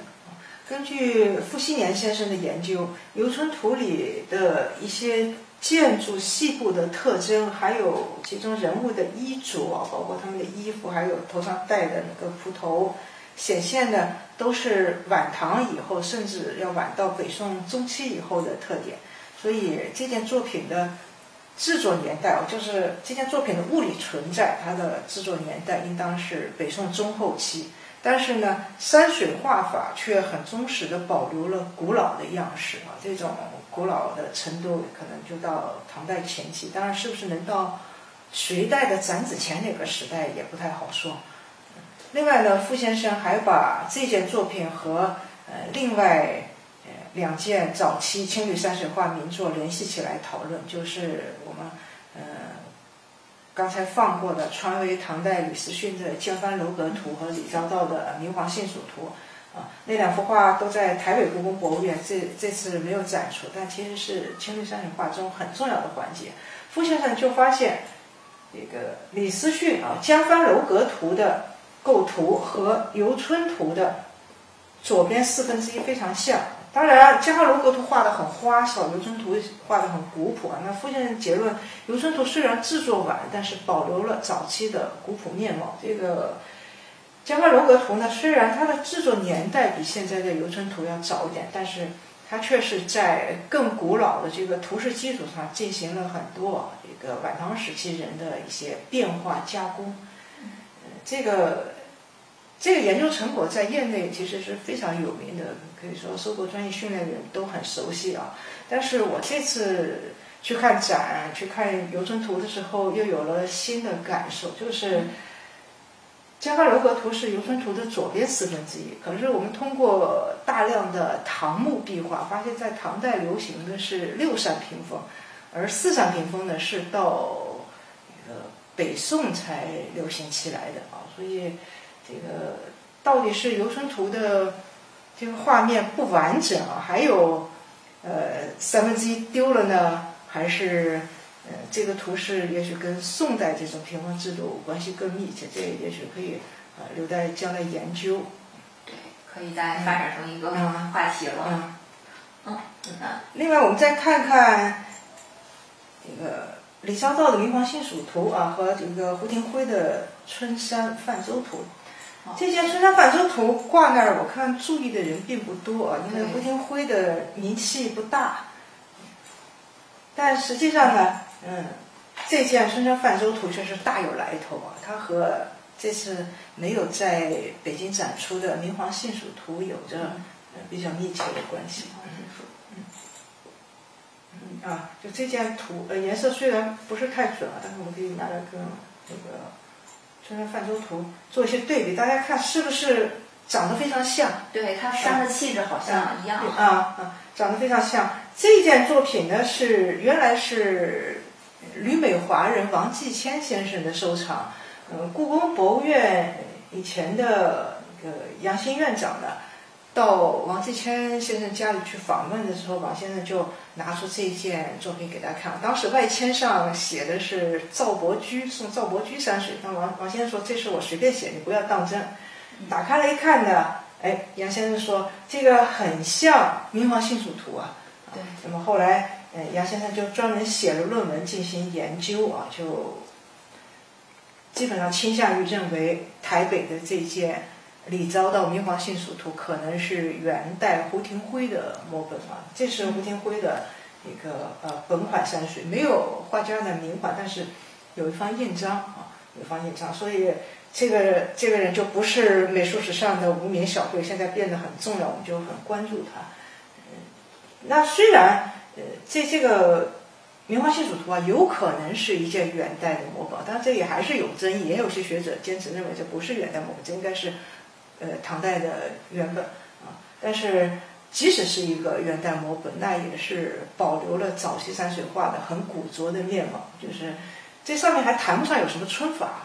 包括胡廷辉自己在这个，嗯，现在看起来，其实两者细部看还是有一些差别。这个胡廷辉是有一点儿，他画皴法很熟练，但是他摁着不表现出来，哦，是那种他他其实是会，我们通过这个画面能看出他他会全套十八般武艺皴法他全会，嗯，但是他摁着不表现出来，控制着这种节制，对，哦。他就是这样 hold 着，哎，不能让你看出其实我很先进啊！我要故意装着很古拙的样子。但是在在这幅画上，当然是，嗯，如果有更细部的这个放大图来看，它也有一些横纹，但是总体上，这个《明皇西蜀图》的古拙面貌保存得更好。它应该是，呃，唐代的山水画山山水的皴法还没有发展起来那种古拙面貌，和我们在。很多敦煌壁画里面看到的是一样的。嗯，好。那其实刚才我们一直就是这个话题是由我们应该呃看展之前做什么准备而来。如果大家可以去呃看展的话，不妨提前做做准备，然后找来这幅《明皇幸蜀图》来，然后来看展的时候也可以去着重的看一看这个胡廷辉的这个《顺山泛舟图》。嗯。所以其实这样对比着看，虽然我们一直觉得这种比较研究可能是不能是平行的来比较，但是这样看起来的话，它能有一条很清晰的脉络，在我们心里其实也是很重要的。嗯，那这个其实我们在看完这个展厅之后，呃，就进到了我们这个重头戏《千里江山图》的这个展厅了。大家也是排队排了很久在等这幅图。呃，那刚才我们在节目一开始的时候，一琴老师跟我们一起分享了《千里江山图》的内容。那我这个环节也特别想问一问就是老师，这个《千里江山图》背后的还有什么我们不知道的一些故事？嗯，嗯，最近这已经是一个网上的一个热点啊，就是越说越离奇。呃，其中有一点呢，可能大家都注意到，就是我们都说王希孟《千里江山图》，但是这个王希孟到底怎么姓王的啊？这恐怕还是一个问题。对，因为我现在也看了一些这个研究，就是说王希孟他有可能不姓王，啊，他是怎么怎么回事儿？嗯，其实这个问题呢，可能是我最早关注到的，因为在十年前我就写文章，呃，提到这个问题。嗯，我们过去看画的习惯，可能因为发表出版的限制，大家都只看画线，甚至这么长的画，你不可能看到完整的画线，就是一一些局部，呃。我呢，可能是比较早的关注到画后的题跋，就是仔细的去读一读蔡京的跋。但蔡京这个跋其实早就有发表，只是可能过去大家没有太多去研究这个提拔的习惯啊。蔡京的拔啊，我们可以找一个啊，找一个局部图给它放出来。好，其实蔡京的拔这个就是我们。呃，网上一直也比较的对这段拔现在变得很热门，就是呃，根据这段拔，有的人有的呃，这个写作者想象的很远很远啊。嗯嗯，这个跋呢，呃，我们这里念一下啊。嗯。政和三年闰四月一日，赐西孟年十八岁，西在化学为生徒，召入晋中文书库，素以画线，未甚功。上知其性可教，遂毁誉之。亲受其法，不逾半岁，乃以此途径上加之，因以次成经，为天下事，在做呃在做之而已。嗯，这段跋呢是拍成图，好像字显得瘦一点。其实我们去看原作的时候，觉得拍的比这个还要壮一点，对对，壮壮的。嗯，壮一点。政和三年是公元一一一三年啊，呃，这是这年闰四月一日赐，那就是把这幅画就赐给了蔡京啊。这儿写的是西孟啊。那么王希孟这个说法呢，呃，应该是清初的，主要应该是梁清标啊，根据这个。可能是根据他他之前看到的旧题签写的一个题签，后来呢，再是经过清初的另外一个官员收藏家宋洛的写作传播而广为人知，所以今天大家就就认为啊，都是呃王希孟，王希孟好像叫的很顺口。但是我们要回到材料原点啊，这个原始材料就说是西孟，没有提到，没有提到他姓王啊，这个姓王就。从北宋到清初那么久远的时间，到底这个说法怎么出来？这没有办法查实。而且呢，呃，就我分析啊，根据宋人的习惯，如果蔡京的跋不指明西孟的姓氏，那么呃，比较有可能是呃两个可能，一个他是国姓，就是姓赵啊。这个现在也有很多人呃这个提到说，这个会不会是赵熙嘛？但我觉得还有一种可能呢，就是他是蔡京的同宗，姓蔡，因为同宗一般就不会在不会特意提对，不会特意在在提姓氏啊。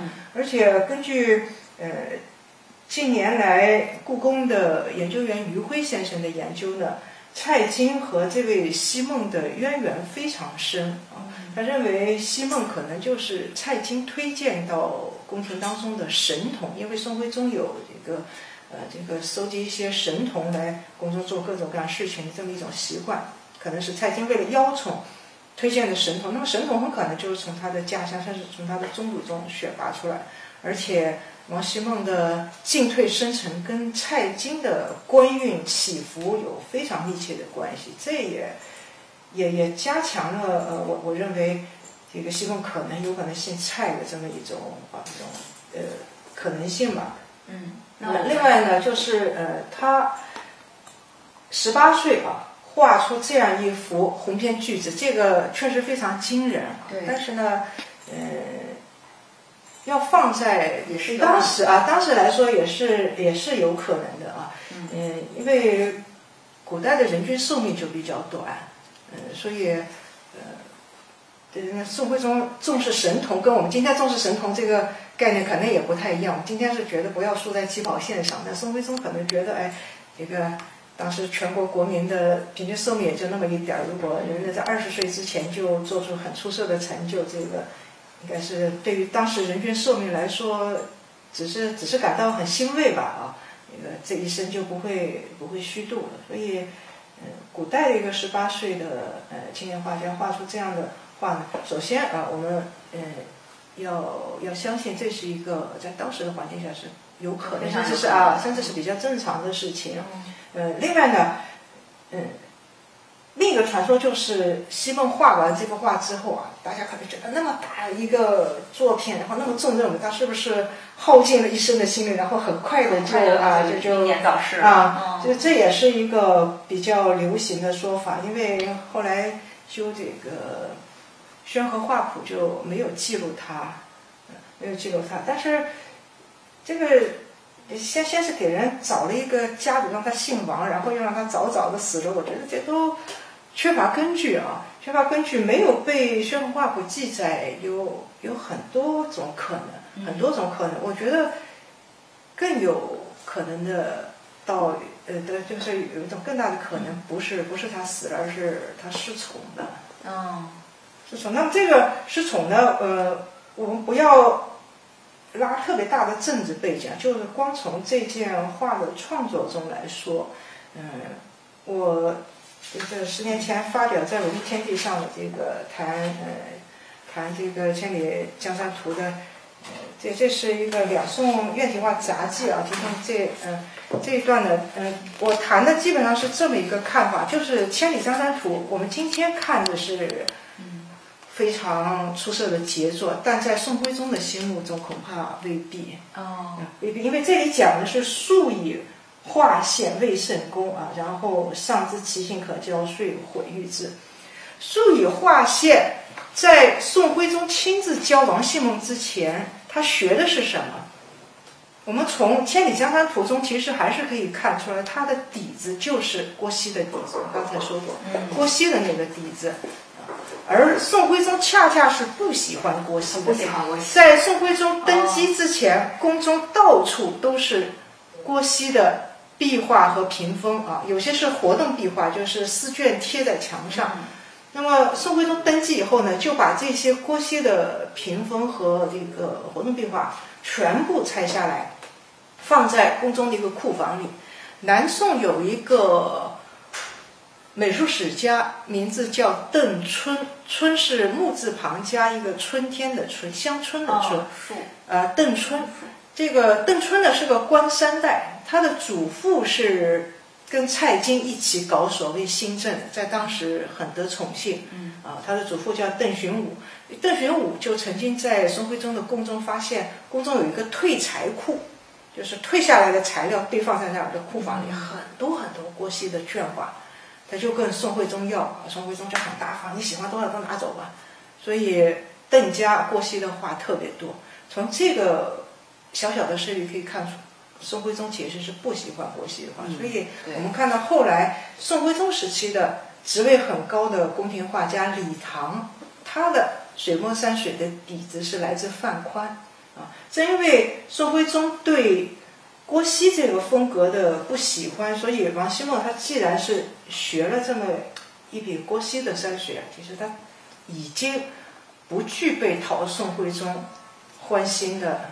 基础了啊，那么宋徽宗教导他改变面貌啊，看看这个小孩子基础不错，还能不能调教调教呢？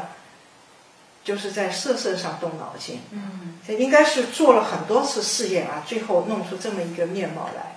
我觉得宋徽宗自己也被这种效果给惊了，不要说我们今天被惊了，宋徽宗也被惊了。就第一呢，确实很漂亮。甚至呢，呃，因为宋徽宗自称是道君皇帝，这也很符合道教对仙境的一种想象啊。但是另一方面，我们看宋徽宗自己有一些作品，他本质上还是一个文人，他还是对色彩的使用是有一种克制的，嗯，对水墨的层次那种细腻的趣味却是有更强烈的爱好。所以这种啊，对啊，这种色相，我觉得宋徽宗最后还是。感到抵触，他没有办法接受啊，就是底子是他不喜欢的郭熙，然后面子呢是，他没有办法接受的这种过于强烈的视觉刺激。因为道教，你觉得最后说到底，他还是要回到老子的那种啊，五音使人耳聋，五色令人目盲这么一种标准啊。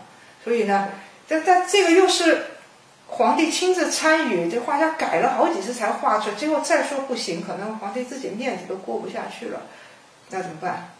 也别放眼前碍眼了，赏给蔡京，既笼络了宠臣啊，又对蔡京推荐来的人有个交代啊。然后可能人呢，不知道安在安排在哪儿工作，反正也没再让他当宫廷画家，也没把他记载到宫廷的绘画著录当中去啊。然后蔡京还拿着这张画在那儿大发感慨，这是一种多么出色的恩宠。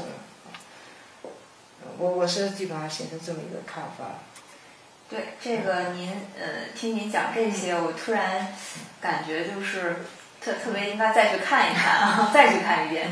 嗯，所以这个其实我我就想说，其实还是要听老师来讲。其实如果说观点是一家之言的话，但是像您的研究思路，包括您的一些看法，就是对看画也好，对这个整个青绿山水的这么一个感觉也好。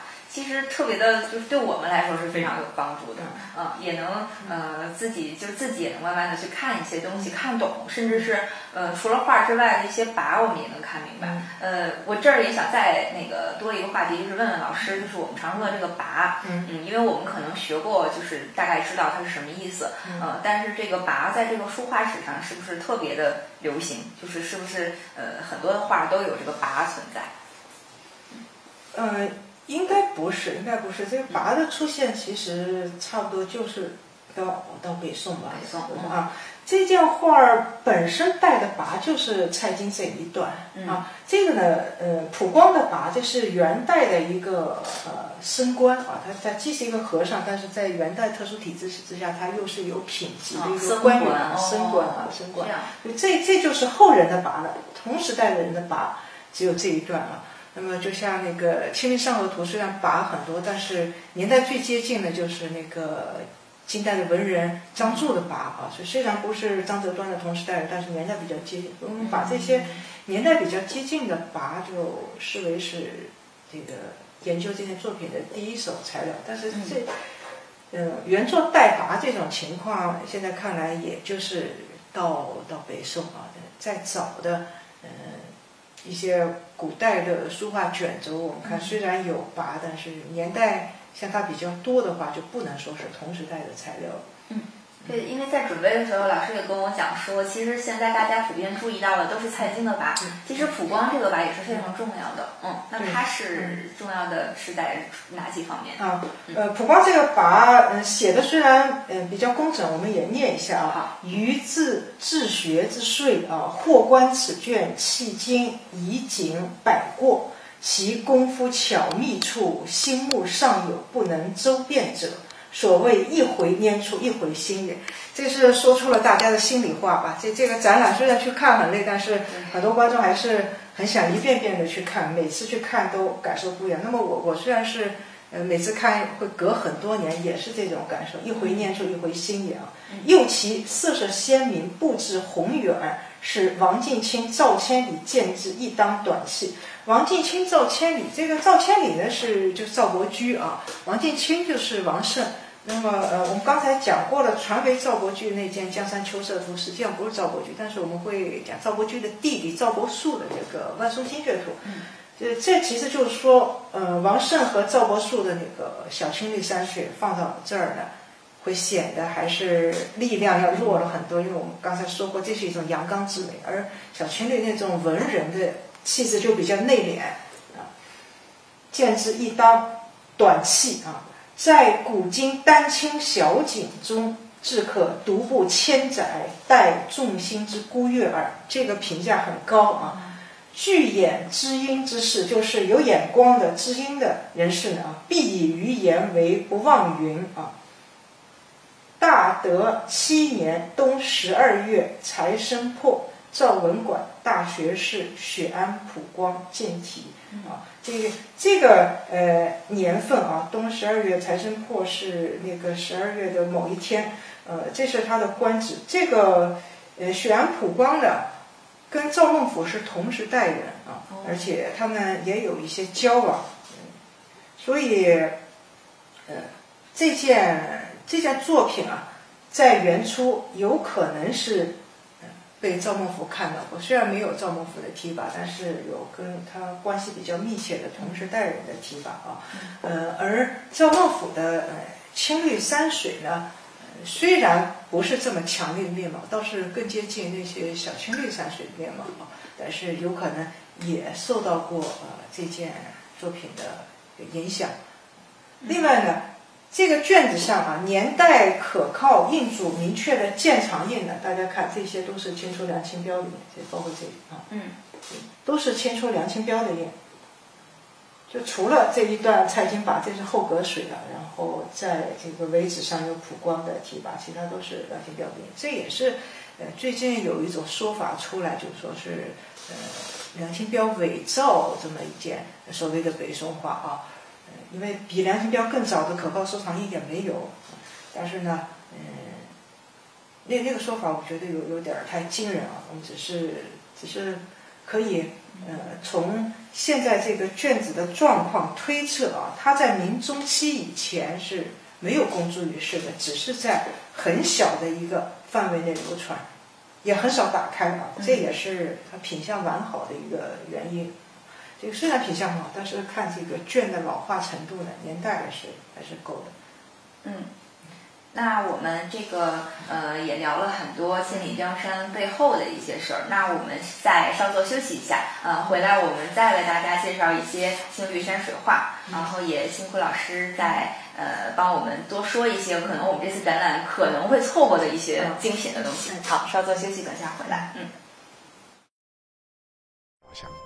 啊，这个最高峰高山之巅，直入云霄，万丈瀑布飞流直下。在山下，能感觉自己是非常的渺小。这一段画面呢，用的是高远法，自山下而仰山巅，谓之高远。高远之势突兀。北宋宫廷绘画中的山水啊，有一种极常见的类型，就是用山水经营位置来彰显君臣尊卑的名分。比如《千里江山图》这一段。主峰高耸入云，雄气而敦厚。那么宫室呢，在主峰下的云端若隐若现，群峰则围绕在主峰四周，呃，依附像朝拜一样。山脚水边则是普通的楼阁水榭，大者尊，小者卑。用主峰和群峰的关系，那其实是用图像来隐喻。君臣上下尊卑的秩序，表现理想的政治秩序。我们再站远一点，欣赏整幅长卷，画面异常的丰富啊，却没有杂乱的感觉。这就得力于色彩的统一。《千里江山图》虽然历经千年之久，但矿物质颜料显示出了不褪色而且覆盖性强的特性，色泽鲜艳。整幅画至今仍然绚丽灿烂，光色可与西方的名画争胜。《千里江山图》与隋唐时期的青绿山水又有所不同，因为王希孟同时还借鉴了水墨山水画的一些技法，这个色与墨、皴法与色彩相结合。在上色之前呢，先用墨。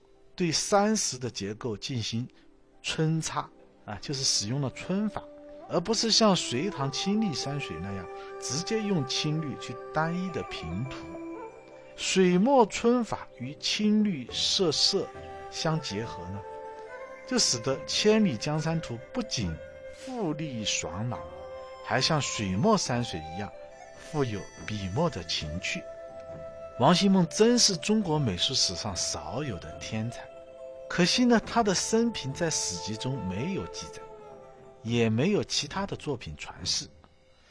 我们唯一的资料就是在《千里江山图》的卷后，啊，可以看到当时著名的奸相蔡京的一段题跋，啊，他说：“西孟曾是画学的学生，多次给宋徽宗进献画作，但画得并不完美。”宋徽宗觉得他有天赋，就亲自去指导他。虽然这个天才少年啊，只留下了这样一幅画，却因为这一幅画而名垂千古。我们纵观全幅，既有鸿篇巨制的雄心，又有笔精墨妙的细心，啊，无论远观还是近读，都令人折服。难怪元代著名的书画家蒲光。就对此画推崇备至，在卷后的题跋中赞道：“我十五岁开始看这幅画，至今啊看了近一百次，真是越看越新奇。他在古今丹青小景中，可以独步千载，真如群星中间的一轮明月啊！今年。”九月份开始啊，北京故宫博物院将会展览这幅画，大家有机会呢，还可以去感受一下原作的魅力。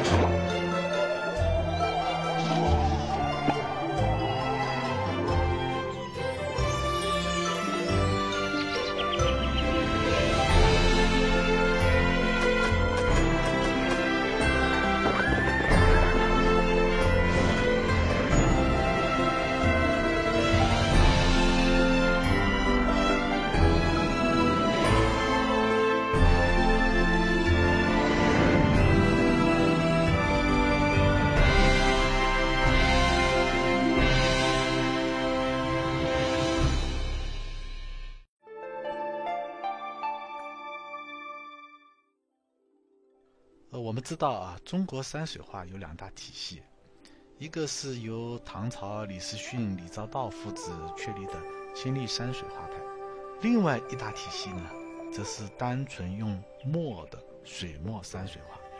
后世就认为，唐朝大诗人王维是水墨山水画的鼻祖。虽然青绿山水在宋代比不上水墨山水那么流行。但由于时青时绿，它属于矿物质颜料啊，色泽鲜艳，青绿山水画呢也就灿烂明艳、豪华富丽，受到了宫廷贵族的追捧。尤其到了宋徽宗时期，他格外爱好绘画。在宋徽宗的支持下，北宋的绘画艺术呢空前的活跃，还涌现了一幅名垂千古的青绿山水的扛鼎之作。中国十大传世名画之一的《千里江山图》，王希孟的这幅《千里江山图》啊，高是五十一点五厘米，长是一千一百九十一点五厘米，啊，比起高二十五厘米、长五百二十九厘米的《清明上河图》来呢，还要长一倍多。都说江山如画，那这画就应该是《千里江山图》了。这样一幅气势恢宏的长卷，在细节上啊，它也画得十分精彩。人物呢小如蚂蚁，却动态鲜明。山头上飞的群鸟，如果不仔细看啊，几乎觉察不出来。只轻轻一点，但是呢有翱翔的动势。各段相对独立的山水，就由各种小桥和水面巧妙地连成一体。我要想通往下一个场景，就要走过近景这一座古朴的小桥。狭窄的桥面上呢，呃，大概仅容一人一驴通过。再往前走几步，是一座小型的亭桥。亭桥呢，就是亭子和桥梁的组合。小桥跨度不大，下面有砖为桥基，上面呢立着四根一排的桥柱。桥面上再建了一个四坡顶的小亭子，亭子的四角的这个矮墙啊，感觉好像是用这个植物编织的，与周围的树木融为一体，有浓郁的园林建筑色彩。接着再向前面，就被江水拦住了去路，那么只好招呼渔家搭他的便船了。我们在水上飘荡。好，欢迎大家回来继续收看日课直播，看大家。那么刚才听赵老师讲了很多我们这个《千里江山图》和《金绿山水》，呃，那最后这一个环节呢，也想请邵老师再给我们聊一下，我们如果去看展的话，还有哪些画作是我们可能除了《千里江山》之外，以前没有关注过的，而这个展览却不能错过的一些画？嗯，请邵老师。呃，我觉得这这件画，这个《燕江叠嶂图》。其实很值得关注。在第一展厅里呢，大家除了一些敦煌壁画的临本，先会看到游春图。游春图的重要性啊，以及呃它在形式上提供的那么多呃可谈论的区别的话题，我们刚才已经分析了。后面这个《燕江叠嶂图》呢，可能关注的人就少一些。嗯，《燕江叠嶂图》首先是它的作者其实蛮富有传奇性的，他叫王胜啊，这个字念慎，王慎。他是宋英宗的驸马，也是苏轼的朋友。嗯，受到苏轼的这个政治上失势的连累呢，就被贬谪到呃湖北。他在湖北呢是观察当地的自然，创作了这样的呃一种新形式的山水。苏轼呢也为他写过《燕江叠嶂图》诗啊，那在苏轼的全部文学创作当中也是非常有名的一首诗歌。那呃，我们现在看到的《烟江叠嶂图》呢，呃，它是一件小青绿作品。这个小青绿作品是，实际上也是完整的水墨画嘛，就把这个青绿色色去掉的话，它也是一件水墨山水啊，涂了呃比较浅薄的这个色层啊，用小青绿的这种呃水色的水色的颜料啊，整个呢啊就呃。表达了一种文人的比较一个委婉的呃谦则幽怨的感情，所以也有学者把这一类山水称为谦则山水啊，就是被贬出去的文人士大夫表达情怀的一种山水。嗯，据说呢，一个岩浆叠嶂图里面还用有有这个用了一些金粉或者金线勾勒啊，但但是可能是很久很久以前能看出来，现在这这个二十来年我看到过展览都使劲找也没找到。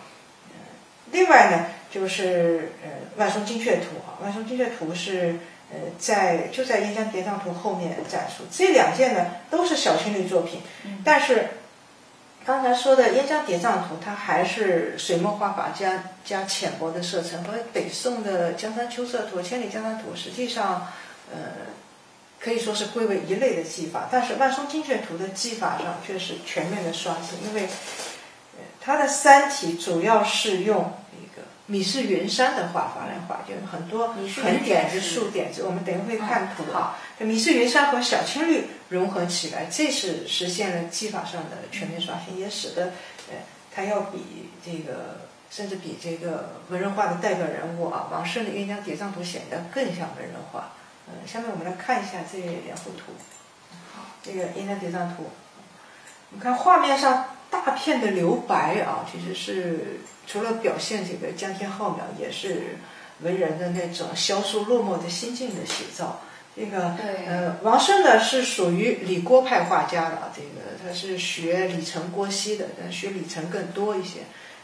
这种李郭派的山水加上了一个脂绿和赭石的四色。对，但是我们其实远看觉得稍微有点看不清它的这个颜色。嗯，我们可以放大看一看。嗯。哦，这样是，而且很很湿绿啊，这是一种比较深的草绿色。对，这样一对比，我们就能看到它其实跟那个大青绿其实是还是很不一样的。这种颜色涂上去，它不是没有那么强的覆盖性，所以水墨的骨架显现的更加的完整。也啊，也不需要不需要呃采用复勾，这这个山和嗯云和水口都是用线勾勒出来的。画的实际上是蛮专业，他虽然是一个文人画家，但是这些都处理的非常的精彩。我们可以再感受一下，其实这对这张画，因为我刚才看的时候，就包括看展的时候，也是觉得空了很大，嗯，但是整幅画又很就觉得延伸的又很远的感觉。嗯，下面我们看下一幅，嗯，万松精确，嗯，我们这里放了的是呃我们在展厅拍的一个原作啊。大家能看到这个卷子确实是老化的很厉害。对，这上面的点子都是用织绿点出来的，织绿啊，织绿点出来，这就是谜点。哦，就是层层叠叠的。这个也是啊，横点子、竖点子，对。这个米点呢，是我们知道北宋有个书法家叫米芾啊，他的儿子叫米友仁。米友仁在南宋初年宋高宗的宫廷里面非常的受宠幸，就是。呃，要替皇家整理鉴定啊，皇家内府收藏的书画。另外呢，就是据说是家传的，米友仁跟米芾学来的这么一种山水画的画法。所以，呃，在山水画上也有一对父子叫二米父子，就相当于情侣山水里面的二米父子那样。二米父子，当然现在有很多争议啊，好多人认为米芾其实不会画画，就是他的儿子没有人会画这种。山水画，但但这个叫米点，不管是大米还是小米的，都是米点啊。嗯，米点呢，就是把毛笔啊这样躺倒了啊，在纸面上这样一下一下压出来的。这是一种非常简单的操作方法，和山水那种复杂的勾皴染点茶相比是很简单，就适合造型能力不强的文人操作啊。但是呢，呃，这种这种比较简单的。技法其实也也可以，呃，传达出文人的那种自着的审美趣味。嗯，在宋高宗时期，米友仁是非常受高宗宠爱的啊。他的画呢，都是当时的中央办公厅给收走了，不许到民间随意流传。所以还有人写诗发牢骚啊，说的这个如今共御也，不许向人间。那么以至于同时代的宫廷画家赵伯树啊，这个又是中式画家。也受到他的影响，就快速的把皇帝喜欢的这种谜点的风格融入到小青绿山水当中，所以我们看到给小青绿山水带来了一种全新的面貌。对，这个其实也挺独特的。其实我们远看也觉得是一种呃深深浅浅、明暗，其实也很舒服的这个感觉。嗯嗯，因为现在也有我看到有网友在问，就是呃，其实也跟我们现在讲这个话题是一样的。除了《千里江山》，还有哪些呃，就是经典的这个画作？刚才老师也给我们讲了这两幅画。呃，您觉得还有哪哪个可以我们在现在时间可以再讲个一两幅？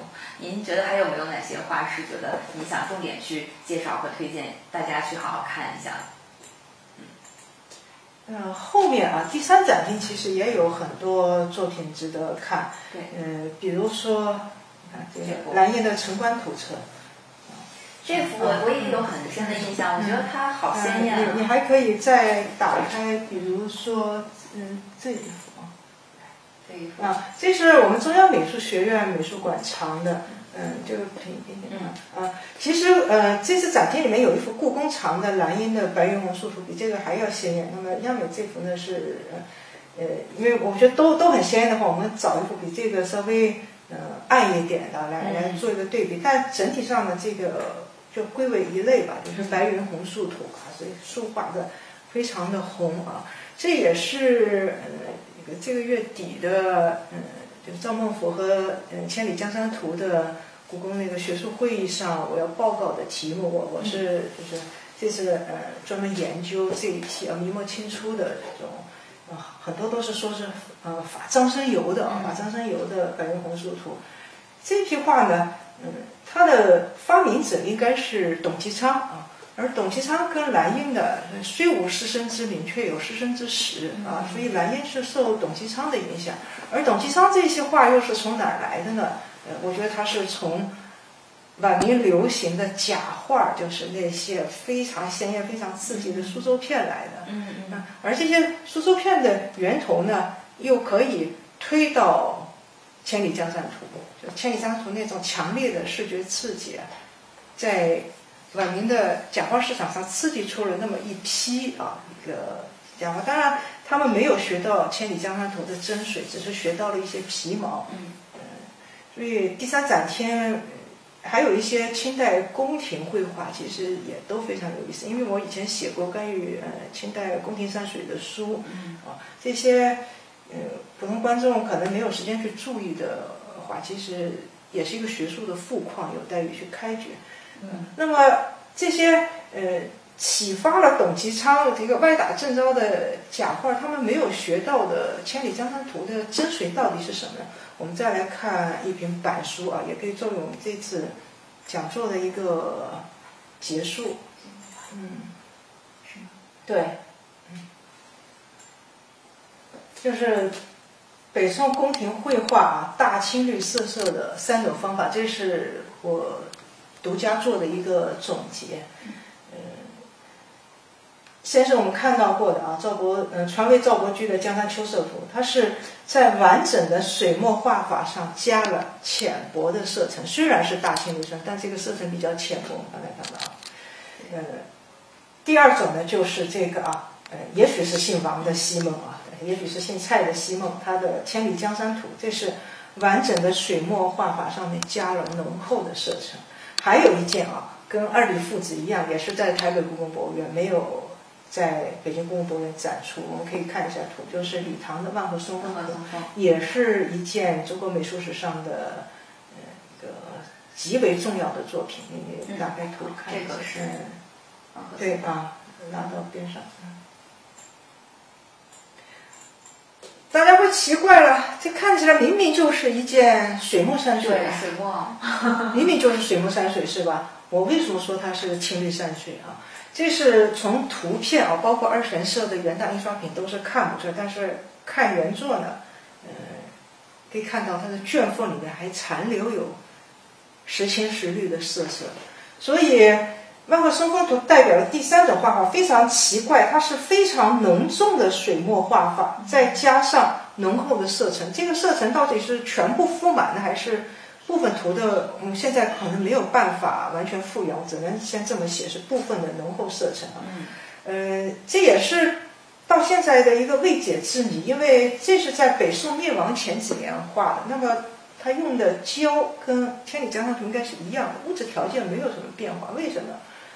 千里江山图的颜色保存那么好，这个就全脱落了。哦，但是看起来呢，也并不是说李唐主动的追求这么一种效果，因为它这个作为底子的水墨的皴法比较乱，其实是比较乱。虽然功力深厚，但是他没有想把这这些水墨皴法全部显现出来给大家看，所以它是比较随意的，组织是有点乱的。外面再盖上厚重的颜色，这么一种画法啊。李唐是北宋末年的宫廷画家，南渡以后又是宋高宗宫廷的头牌。那么他南渡以后所做的《江山小景图》《长夏江氏图》也都是得到宋高宗欣赏的。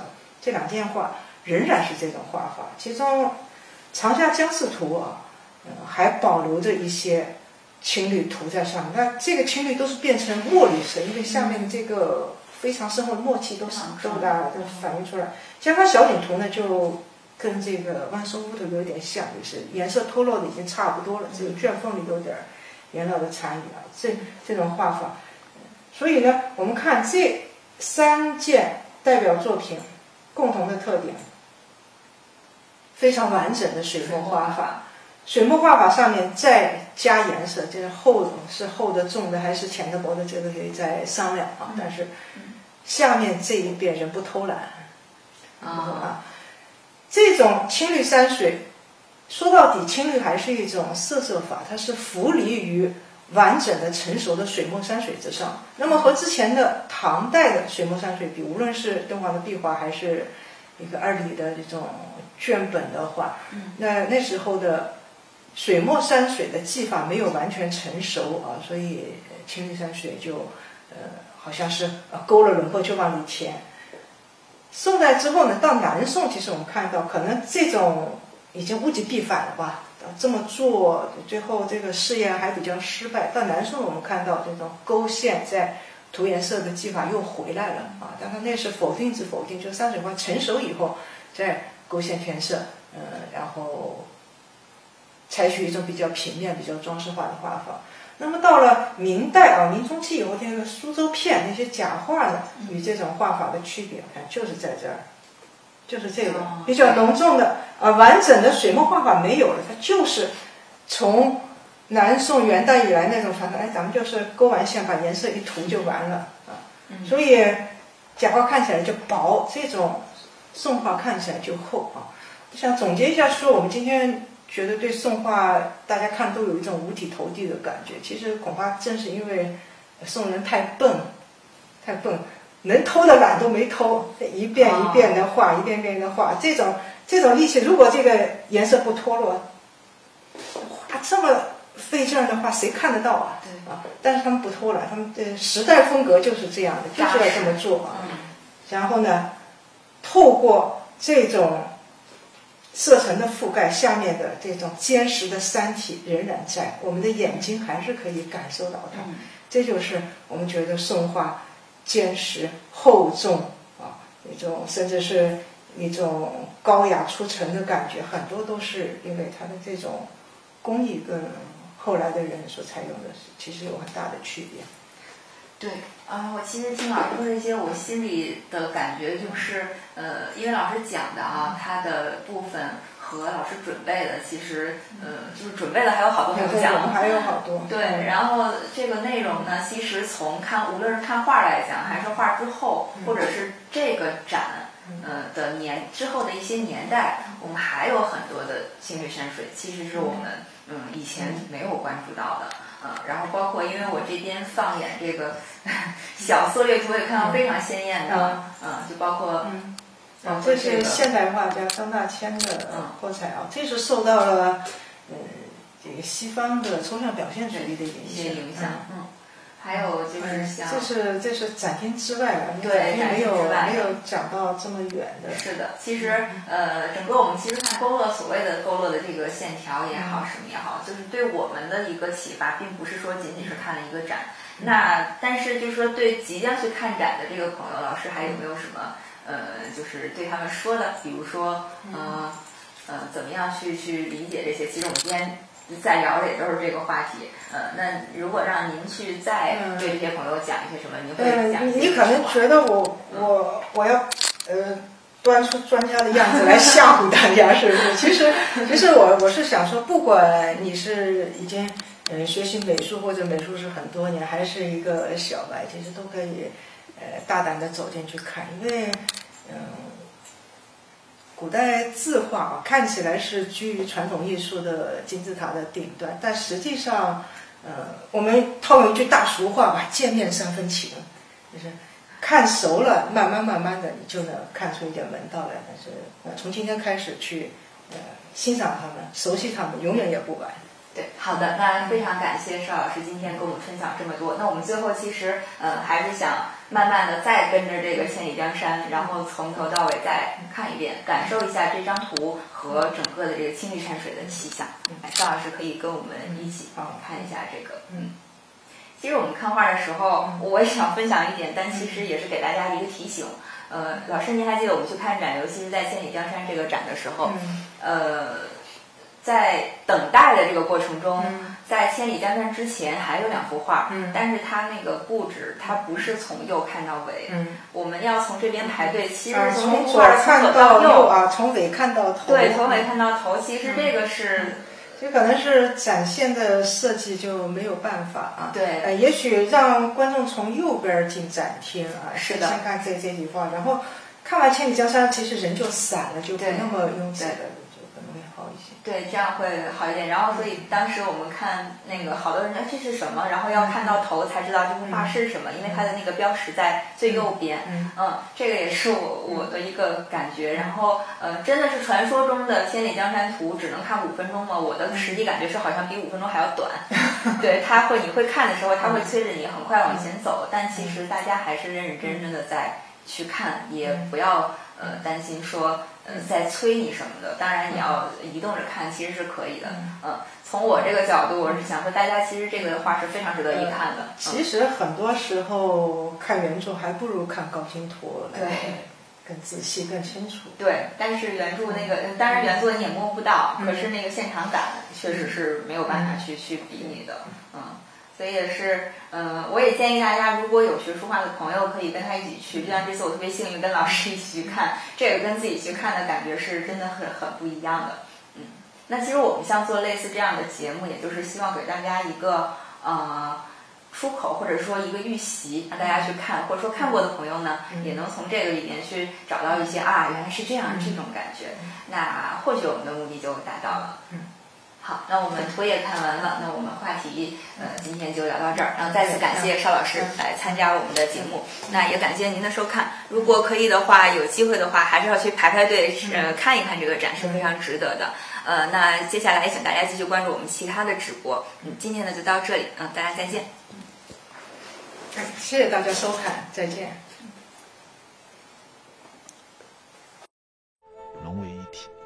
有浓郁的园林建筑色彩，接着再向前面，就被江水拦住了去路，那么只好招呼渔家搭他的便船了。我们在水上飘荡的时间呢，不如远眺吧。等到上了岸之后呢，这边房屋聚集啊，热闹很多。沿着悬崖上的栈道啊，呃，九曲盘旋，通向半山腰的一座庭院。站在山腰这片平台远眺。可以看到崇山峻岭，啊，十分的密集。远处的高山呢，只有淡淡的青色的影子，用山峰重叠来拉大空间的距离。那么这一段画面啊，就是郭熙提到的深远法，自山前而窥山后，谓之深远。深远之意重叠。我们回到山脚，眼前是一座宏伟的跨江大桥。宛如一道彩虹，十分壮观。桥面自两端向中央逐渐的升高，到中央的位置呢，就建了一座十字形的桥亭。亭下接近水面处啊，它还加了一层，啊，贴近水面，嗯，很适合夏天躲在下面乘凉欣赏风景。我们沿着小路继续一边行走一边欣赏，跨过最原始的平板石桥。